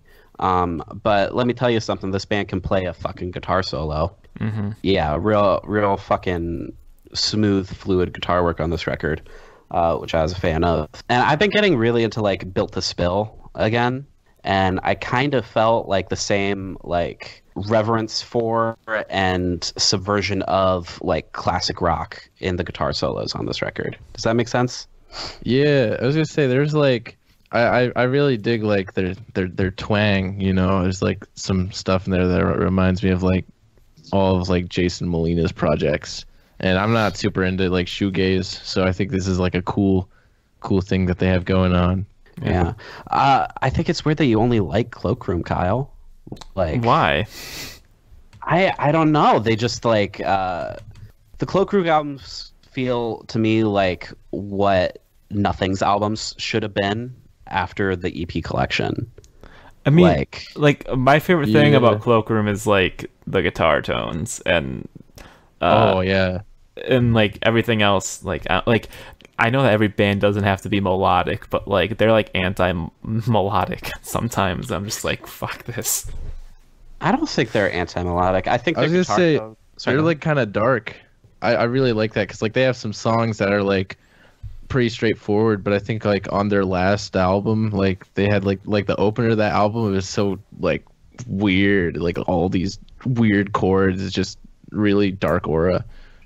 I, I figured out what I think Cloakroom sounds like, and someone tell me if I'm wrong, but I think they sound like emo Kyuss. I've don't never listened to I've Kyuss.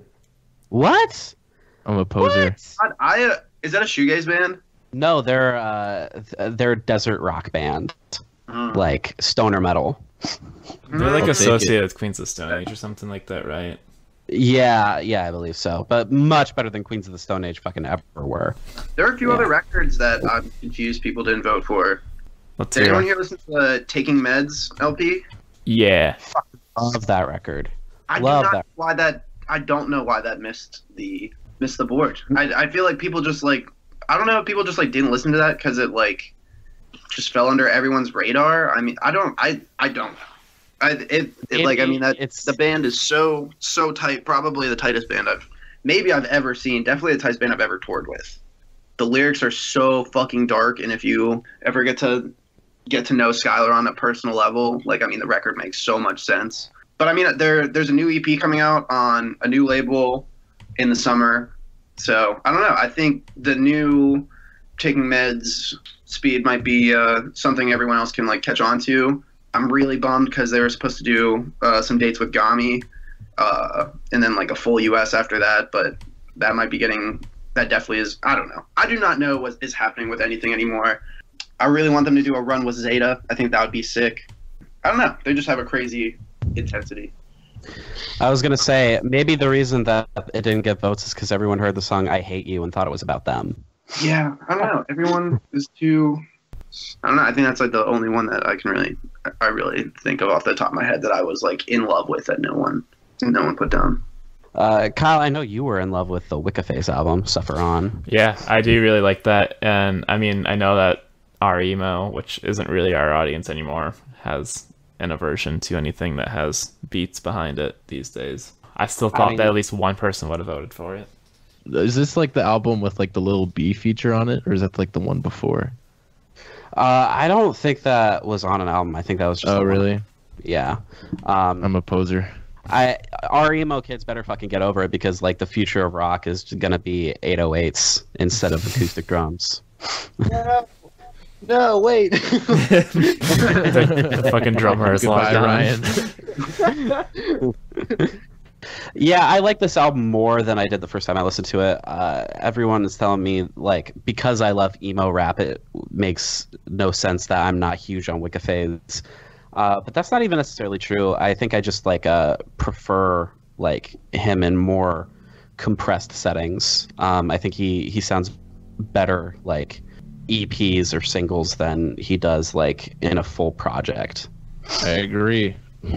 I was gonna say like uh, like Corinthiacs, like that EP is so dope, and like I don't know, like sort of lose attention on the albums.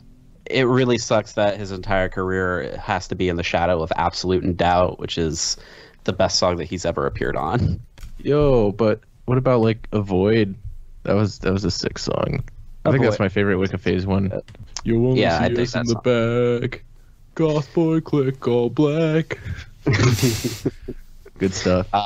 I also really like the the song with Georgia Mack guesting on it. Um, I think Oh, it's yeah. probably like its luckiest song. Yeah, uh, eventually, uh, Wicca Phase is going to get written into emo history, whether uh, fucking Twinkle Dorks like it or not. So Yeah. might as well get on the train while you can. And then that puts us in the the back half of our episode, or maybe not half, but like the home I was stretch. say, I hope not. We've been on Skype for like two hours. Yeah. uh, EPs and emo adjace. Maybe in like if if if I have like any regrets about the way that uh Decade Under the Influence shook out, I think maybe we should have put EPs in the in in the album like voting blocks. But so I did at first, and nobody voted for them. But Okay. I think we became EP heavy like halfway through this whole series. Like as in Yeah. some of the heavy hitters were EPs, but yeah, I totally get it. Yeah, just because like right off right off top three of the like the three records that I think would have made a huge indent if they were on the list uh, are like the first three listed here. All right, Commander Salamander off the goop. it's cool when any band starts an EP with like a beat. Like it's that's always like a good move. Uh, this record from the catastrophe the first time it was, you know, almost recorded like in like early 2018 to the band pretty much like breaking up to getting back together to the split coming out to off the goop coming out was uh, uh pretty pretty gracious. Short fictions went on tour with Commander Salamander and uh, those three lads are they're something. That was Great folks. was They're so funny. We had so much fun. That was great. They're so woke. Yeah, no, it's a they're uh, they're very they're all they're all pretty mature. It's a I see you have a hundred gecs here, and uh, they literally would not stop playing a hundred gecs. It was honestly so annoying. yeah, they got me again. I fucking- Boomer over here. no, no, it was like sick. Like the first like like five times, and then by like time twenty of just hearing this album over and over again, I was like, please, can I listen to something else? I'm begging you. I, I would have responded by putting on McCafferty. Uh, but yeah, this this EP was fucking nutso, and I was just like so proud of them, like for finally getting it out, um, because it felt like much more cohesive mission statement than Gross October, and more wide ranging in influence and tight in song structure and performance than the the Gami split. It just felt like the furthest Commander Salamander had ever like pushed themselves, and um, I I am a huge Kama Salad stan and this EP is their best work, I think. I I agree. I really want to see this band put out an LP because I I just I, I want to see like what all they can come with together. But I don't I don't know. I mean I I was really with Liam going to Berkeley. I was really interested to see how that would affect like the dynamic of the writing process of that band because I don't. I mean, I don't know. I I just I want to see a Commander LP, a Commander a Commander Salamander LP like really really badly. There's some cool stuff in store. I have on good authority. Yeah. Um, I want the LP to be called Back on the Goop. Turn to goop. What is that? Can you guys hear that? God damn it. Ryan, is that you? My landlord has someone doing siding repairs on my apartment. Aw, It's okay. I thought it was just a. I thought it was a fucking ghost. yeah, That'd be so sick. I thought I was about to die. Haunted podcast. What's Can you s- The movie- ghost of real emo. Uh, there's a there's a specter haunting the E Word podcast, Uh, and it is never better by nice. Another Um, band that I'm really That was a good segue. Thank you. Uh, it really, really nice does like hang over the head of this podcast, uh, just because we have a pretend beef with Roddy, and um, people were mad about us talking about the CP on the freshman class episode, even though we said literally nothing but nice things about it. we just were not nice enough, I guess. this band is sick as heck and uh i don't know if anyone has seen any of like their live videos of like their new stuff but if you like never better uh the full length record is like literally just hits i mean it's everything that they did really well on Never Better, and uh, I don't know. I think they've all just matured as uh, just like songwriters and as people. Uh, the first record, like I wasn't like I didn't really got into like the first nice LP, and this was like a nice segue into uh, like them definitely finding like their sound. You know, Are they going full power pop on the LP? um, I don't know. Y'all are just gonna have to wait and find out. Fuck you with your AMC trailer ass. They're uh, they're they're definitely gonna come out with some bangers. Um, a lot of riffs, like which is which is dope. And I, I feel like if there's anything that Never Better was missing, it was like just like some more epic riff parts that like you hear in like Snowboard. So yeah, I don't know. word. I- Okay. I'm very stoked for them. I love this album, and then they did the split with Gully Boys. That's also really good. And I've seen this band like I saw this band like 18 times last year, and they always played new stuff in it. Like you said, riffs and uh, some heavy hitting stuff. I think. Yeah, they're a great love band. Yeah. Uh, Jail Socks put out at least one EP last year. Whatever release has Steering Wheel on it is amazing. Yeah, that's the most that's the most recent EP.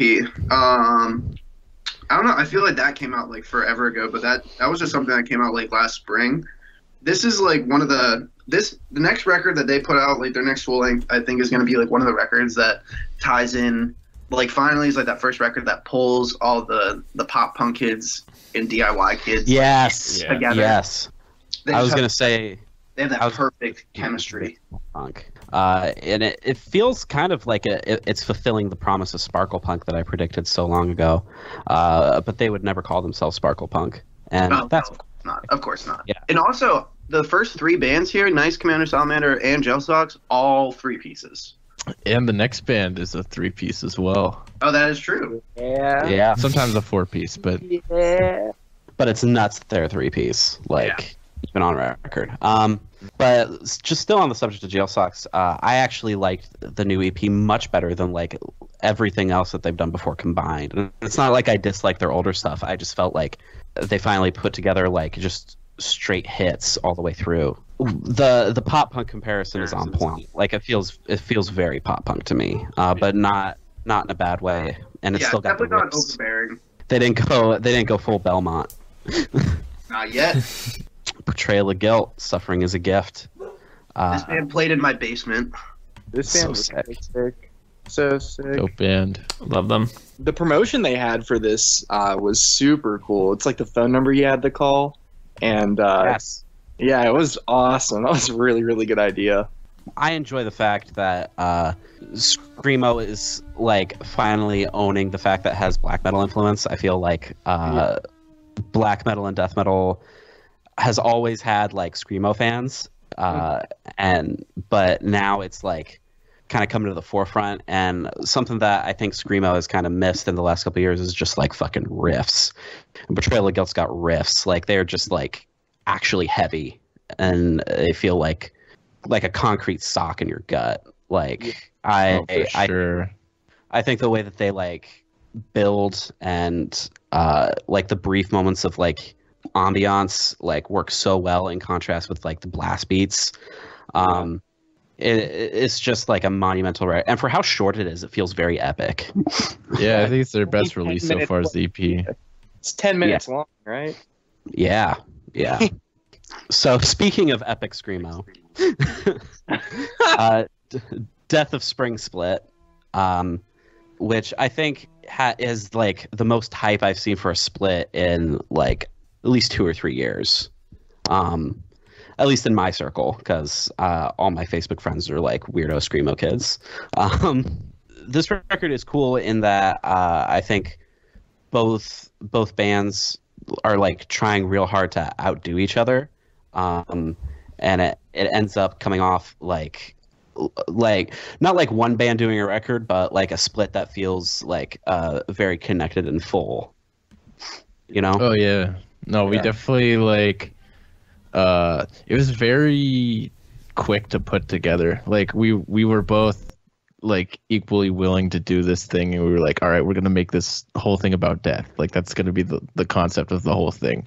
So uh, and we like took influence from each other, and we like we kept each other posted about like what songs we were writing, and like it was just super fun to do, and Yeah. I'm glad people like it. I feel like For Your Health brought out some of Shin Guard's chaos, and I feel like Shingard brought out uh, For Your Health's fight riffs. Oh yeah, yeah. I think my Look at favorite thing about this Death of Spring, uh, probably more so like for your health side than Shin Guard is like this is like the first. Not that I, I mean I love all the songs on Nosebleed. Um, I know Hayden really doesn't like them anymore, but like the way that and oh and you you like recorded and mixed and mastered this right? Yeah, Yeah, I I, put the whole I thing think together. like this is like the I mean the most cohesive like for your health release where you can hear like literally every aspect of that band that you need to that you don't necessarily get in like the first EP. Yeah, I can see that. Um, it, it feels like uh, I think on Nosebleeds there was kind of like a like kind of like a sort of dancey, sassy influence. Um, Yeah. and then on uh, their side of Death of Spring, I think that it, they went like full disco screamo in some parts. Oh Yeah, yeah, no. no. Like 100. what when they made nosebleeds, like they weren't even like that serious about like committing to being an actual band. Like that stuff was thrown together in like I think they wrote all the songs in like a few days and they just like recorded it. So like I think that the spring's like the first release they made that's like they're really trying to like be committed to being a band and Hell it's dope. I'm really proud of the split and like it, you kind of worry like how much attention is like the split gonna get. But i think because like we had a concept that we adhered to uh, it ended up being uh, an enjoyable listen. So yeah, Yeah, I don't I can't remember like a split like a self-release split being so like I don't know. I feel like everyone was like really hyped on the split and like I feel like you just don't see that a lot with like DIY bands having splits is like literally everyone being so hype on the whole thing. And didn't Fantano like didn't he shoot out a, a yeah you shared it Shout That out the band. sick. Yeah. yeah, that's dope as fuck. I uh I got yelled at because I accidentally uh uh leaked. the oh my god that was Oh, so that's- that was so dumb that whole situation was dumb i still was think so that funny. video was I- funny Yeah, no, we. I was just with Hayden not too long ago, and they were like, "Do you remember when you you leaked Death of the Spring?" And I was like, "Oh, shut up." Hayden Hayden's the one that leaked it. Hayden know. literally shared like the Google Docs folder of it. It was like, here's the split. And it's like, wow, all right. That was very funny. Love them Yeah. lots. That was hilarious. Ugh. Microwave. I've never listened to this album because I don't like this band. I don't know if that's a good album. song- the only microwave song that I really like is the the, the lighter list or lighters or I don't really know anything about this band like at all. They're not an emo band. What are they're like? Soft punk. I don't feel, I don't even know how I feel about this band. Apparently, it's a horny album. That's what I saw people on Oh, Twitter that saying. sick. Ooh. Very sex posy. They uh they had a they did have a split in like 2015 with this band called Head North that I really used to like like way back in the day. But that is all I know about Microwave. They were supposed they had they uh, had a headlining tour with Dogleg supposed to be on it. That's also what I know about Microwave. Um, I'll move on to Remo Drive. Uh, people that like Remo Drive like to pretend that this album doesn't exist, but I don't think it's that bad. I think it's, I don't know. People really shit on them for not writing Greatest Hits Part Two, and I kind of feel bad for them for that. It kind of blows my mind that Remo Drive have their own subreddit. They have their own subreddit. Yes. Um, and the most activity it's ever seen is when uh, like accusations came out against them. Oh, bummer. Uh, well, yeah, I don't know. I've never. I don't think I've ever listened to this record either. I don't even think I Anybody to- remember when they were like super emo before Greatest Hits? Yep. Yeah, and then they took all that stuff Uh, out. that stuff was sick. yeah, they kind of sounded like Title Fight back then. Yeah. Yeah, that stuff was dope. Erik Paulson's side project was also pretty cool, although I forget what it was called. Oh, uh, Focus Ring or something like that. That's it. Yeah, uh, they some pretty catchy songs there. I have not listened to this record. I probably not though. We'll see. Um, I threw Strange Ranger on here because I got yelled at for not putting the last Strange Ranger album on the list. This one's And then like it doesn't even sound emo to me. This record. this one sounds like Third Eye Blind. Yeah. Um, which is honestly like a, a great selling point for me personally because Third Eye Blind was uh, in top three power pop bands of the '90s. Mhm. Um, I think it. I think Strange Ranger. Uh, I, I think it's really unfortunate that they kind of suffered from like a loss of popularity when they changed their name. What was their name? Um, Sioux Falls. Sioux Falls. Yeah. oh, um, no, that was the same band. The Sioux Falls album is but- still only on Spotify on, on under Sioux Falls, so like people don't even find them. Damn. Yeah. but I I've always I I, I think Strange Ranger uh, over the course of this series I've kind of like grown to really appreciate their songwriting. Um, I think they're really good at like stretching ideas to like a reasonable song length. The record that they put out like uh, like a couple years ago, um, I remember thinking these songs are too long, and then like really growing to love how long the songs are. Um, but this record's a lot more tight and cohesive and just like, like powerful. Agreed. Uh, Pup morbid stuff. I'd say this is the first time Pup got a little mid on me. Yeah, I don't. This this record just sounds like a Roswell kid B side record to me. Yeah, I don't know. Nothing nothing too special that really stuck out. Uh, they took Beach Bunny on tour, which was really Yeah. fucking cool. yeah. I, Um, I think like Pup is like the biggest rock bands that aren't just like cock rock or something. I don't know how to put it, but like they are gi- fucking gigantic. Like they'll sell out any tour that they'll go on. yeah, yeah, they that's they wild. transitioned to full normie core with this album. I think I said that before, but I they like I don't think I ag- agree with that though. Like there's still some like pop in this album. I don't mean that it doesn't sound like pop. I I mean just that like their fan base has just been growing Oh. exponentially. Sure. Yeah. Yeah. Their fans Yeah. are normies now for sure. Just on the subject of this album, um, the song sounds so much better live when they play it with energy. I think the the production of this album just like drags so much of that like quintessential pup like violently throwing yourself around in a basement energy. hmm Where's this band from? Canada. Nice. So I guess they're not going to be touring around here for a little bit. I don't. I don't think I've ever seen Pup live. I know for a fact I've never seen Pup live. I only I don't saw know. them when they were like first of four on a show. When was that? Uh 2015. It was like it was like Pup, Cloud Nothings, and Protomartyr. That's so weird. It and was then lineup. Was the one out of them to blow up. Right, yeah, yeah.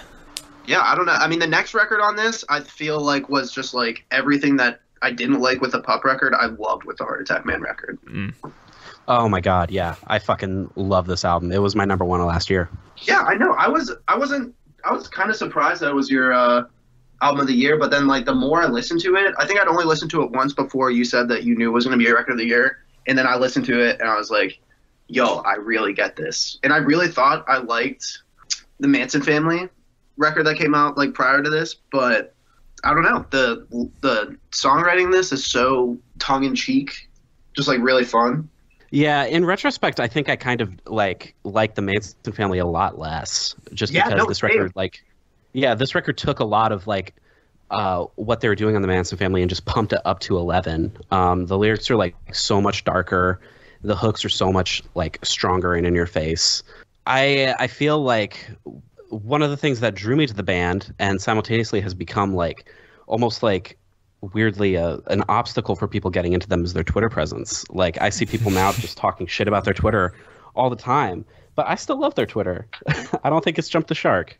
Yeah, I mean, I don't think it's. I don't think Eric's ever said anything that's like super offensive or anything. I think it's just like silly, and people are like, I don't know what anyone's issue with it is. I think it's. I think it's hilarious. He weeded Yeah. out the libs with the, the whole knife thing. Yeah, Yes, uh, which I thought I thought that, that was so fucking tight. Yeah, I- I- for real. I want more bands to have weapon merch. hmm I I'm just trying to like, get there. I just I want people to like not be afraid to have like the same, you know, Twitter presence. I want bands to be like not afraid to have their management like text them and be like, "Yo, you should probably delete that tweet." You know, I feel like I feel like that's just like almost. I love that like just as much as I I really enjoy the record. Yeah, uh, there is one heart attack man tweet that I wish they would delete, and it's the recent one where Eric cuts up a banana and eats it with the skin on. Oh yeah, that was bad. or what about like the there was like one where uh, Eric put like ketchup on his toothpaste and oh that was just horrifying. Yeah. Ugh. I wish that band didn't just tour with like knock like or knock loose, like knuckle puck and like just like I fucking wish they tour with Knocked Loose. That would be an insane that's show. what I'm saying. Yeah. For epic. like I mean I really know that I like Eric loves hardcore and like is also in a sick ass band. A sick ass Oh, Highway Sniper. Yes. Yo, I was gonna say. Eric came to the Death of Spring vinyl release show in Akron. That was fun. Yeah, that kid loves hardcore and if anyone here fucks with hardcore, listen to Highway Sniper because it's him and uh Skylar from Taking Meds. Yeah. Have you Hmm. heard uh, any of his old hardcore bands from So- before? Hard Attack Man? Yeah, So- Ages in particular is so fucking good. It, it should be a much more well-known piece of history that at their first show they did a power violence cover of Heart Attack Man by the Beastie Boys. That's wild. I mean, is this record not an emo record? I considered Heart Attack Man like more of a power pop band uh, before this, but I think maybe with Fake Blood they kind of like shredded into more emo territory. Uh, but their their fans kind of seem to be uh, a healthy mix of DIY kids and pop punk kids and hardcore kids. Yeah, I don't know. I wish I wish this band toured with just like straight up hardcore bands. I think that'd be fucking sick. Like oh yeah, like Heart Attack Man and like Kublai Khan or something. I don't know. Kublai Khan. Kublai Khan. That band is Kublai Khan ain't nothing to fuck funny. with. I like that band. Floral tattoos on here, which I'm really fucking happy about. Uh, yeah, I think uh, we just kind of forgot to put them on this list. Um, I didn't know this But- album came out this, in 2019. I'm pretty sure it did. Um, It but didn't like blow they're- up until this year, right? it took them a minute for them to get some traction. But I think we have cred for having Gwen from Floral Tattoo on on the pod like long before they had any notoriety. Gwen and I actually go like way back as friends, and they're a uh, huge fixture of the Pacific Northwest DIY scene. And I I really I really like this album. Again, I I kind of do see like lots of Glass Beach comparisons. No, I I, I feel like that totally makes sense. I they're a band that like anytime I have the opportunity to send, send a band through the Pacific Northwest, like they're always like the perfect fit with pretty much no matter who I want to send through. Like they just Yeah. they they they mesh so well with almost anyone, and I want them to do like a full US really bad. That would be super sick to see them out on the East Coast or like supporting someone. Yeah, their vibes are a little bit of everything. They got a little bit of Jeff Rosenstock, got a little bit of emo, got a little bit of prog rock even. Like they're just cool. Yeah, I think uh, I think that could definitely be anyone's new favorite band easily. Speaking of bands that got a little bit of everything, uh, was there any record from last year that was more batshit insane than Die on Mars by Callous Boys? No, not That was no, so not- sick. Nothing even like come like close. Like I was gonna I, say, this is the best, and like I don't know if anyone is even like familiar with like Daoboy stuff like prior to this release. I mean, that took like just like okay, like an okay metalcore band from Georgia, and like adding Jackie and adding uh Adam the drummer like blew that band up. Like that band Yeah. is doing insane shit. they're just totally chaotic, absurd stuff. I Yeah. am so stoked for like what they're doing next. I'm, They I'm were not five. they were not nearly as chaotic like before this record. They had they had songs where it was just one riff the whole way through, which is unthinkable. Like when you listen to Die on Mars, they which sounds to my ears like Every Time I Die meets Botch meets My Chemical Romance meets like Cursive. Like it's just like a nutso record. Yeah, I don't know. With short fictions being like label mates with Cows Boys, I I think I don't know. I want to tour with them so bad. It's gonna be wild. That band should deservedly take over the world. Are they Yeah. like getting big in that uh, mathcore world? Because Oh, like they're huge in the okay, mathcore world. okay, because like that's like a very very vibrant scene. I feel like it I has been say, like- for forever, but yeah. The next They're thing gonna be do like is gonna be frontier huge. level. Oh, for sure, absolutely. Like, if not, like potentially bigger. Like, I know they were. Oh, they were gonna do some stuff with Kaonashi, and Oh, that would be so sick. that would be so dope. Like, oh, they're just so tight. The next thing they do is gonna be so huge. I'm I'm unbelievably stoked for them. I'm also mm. making electronic music with Carson right now. Fuck it's yeah. it's really silly stuff. it's gonna be funny. And electronic stuff brings us to the final record on this list 100 gecs, 1000 gecs. Don't everyone speak at once. I'm personally cool. just glad that I saw them like a week before quarantine happened. Did I see the final 100 gecs show of this year? Probably. Shit. Fuck. Uh, yeah, I think their show out here got canceled. I, I I'm so stoked that they like toured with Brockhampton. That was like wild big for them. Um, is it fair to say that like the biggest reason that 100 gecs blew up in DIY circles is because Laura wore that "I hate sex" shirt? I literally In- just talk about that. Money Machine. yeah. Rest I hate peace. sex. I had sex. Literally, like repressed that shirt because of that music video. Yeah, Yeah, I, I, like twice. I know. I bought that shirt because of that. I was like, yo, that's sick. Ringtone by 100 gecs might be like the catchiest song I've ever heard in my entire life. Yo, that Same. remix with Charli XCX, like Mm-hmm. Rico So- Nasty. Mind blowing. It's like I listened to that a lot for like a week and then I stopped, but it's like still really cool. And what I I can't even imagine what the hype's gonna be like for their next thing. I think uh, they're gonna go like much further than you would have ever expected. Like, uh, uh, like their their their early material is still good, but like really derivative of like PC music and like other kind of alternative pop of of our era. Um, but they they just keep pushing themselves into more like chaotic and yet catchy compositions, and I think they are eventually going to be like alt pop kings. I believe it. Can yeah, cannot be happier that I I had the chance to get on that even even as early as like a couple months ago. Um, because I, I I think they're going to be huge. And that is it for 2019. That's it for a decade under the influence. Damn, that was like six months worth of. Is that how long? How long was the decade? We when was the first s- decade? the- 2019 is 12 months long. uh, the first episode came out in early March last year, so we did this for Christ! for 12 months, Holy hell! What's uh? What's next for the E word? Uh, trying to get guests that people wished were on. yeah. So not us. Yeah. Oh, hurts. Gosh darn it! Yeah, real really a shame that y'all were never on the E word. It only took to episode fifty. The hell.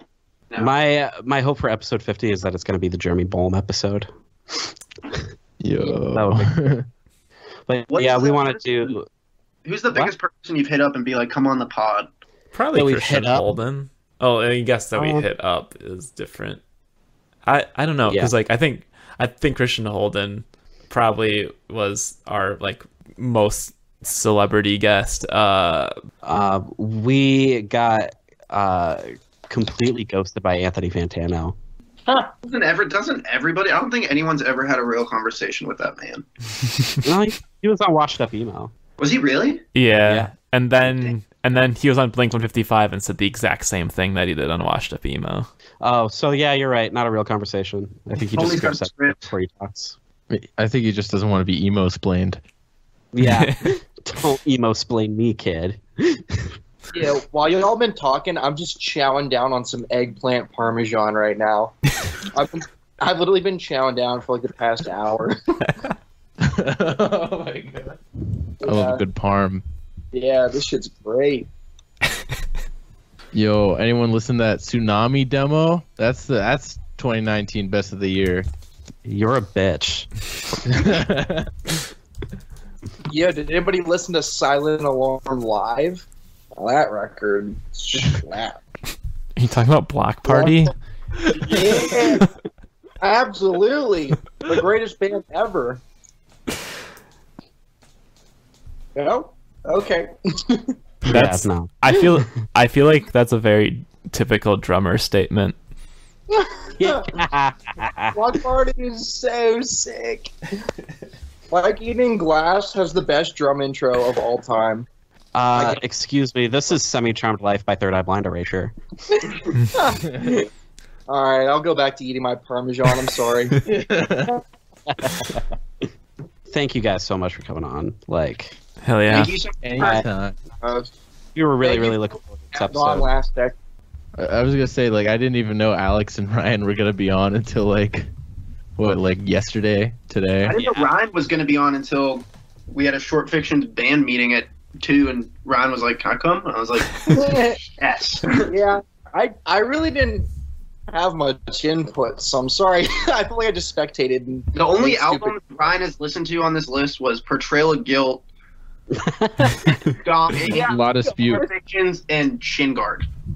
I listened to yeah. I basically didn't uh listen to Ryan only listens to jazz music. No. Yo, I was I mean literally like this week I listened to like eight albums I would never have listened to unless I was on this podcast. So Most bringing me people back to just kind of give it up and don't listen to them. Yeah, which Um, sometimes leads to really cool conversations, and other times leads to not so fun conversations. I really, really Uh, hope that Corey listened and liked Fiddlehead after we talked about them for 20 minutes to him. Big same, yeah. Uh, the only album I listened to on this list was uh, "Breathe" by Tiny Moving Parts. In fact, Do you know that Sam Schreiber uh, bought a tiny moving parts record for? Yeah, messed up. cancelable. in. No, I'm just kidding. He actually didn't do that. uh, I did check out Forest right before this though, and they were super fire. So I need to go through and like listen to this entire uh, this entire list you got because seems like some good stuff. You know. There Really? were so many. There were so many records that like I thought were gonna be on this list, and I was like, "Damn, worst party ever's not on here." And I was like, "Oh shit, that literally came out in February." It just feels like the last month was like two months combined. Right. Yeah. Yeah. I wish there, Honest- there was like a big law to like just pause time and 2020 can like resume when this whole thing dies down. Yeah. yeah, That'd be so sick. It feels like the oh in like 2020 it feels like that came out like three years ago i was like wait that record came out this past year i like totally just it feels like so forever ago It really does. And it's 2020 now. So it's like really makes you think. it's like yo pretty bonkers Yeah, it's like 2020 and Death of Spring. What do you think we were predicting?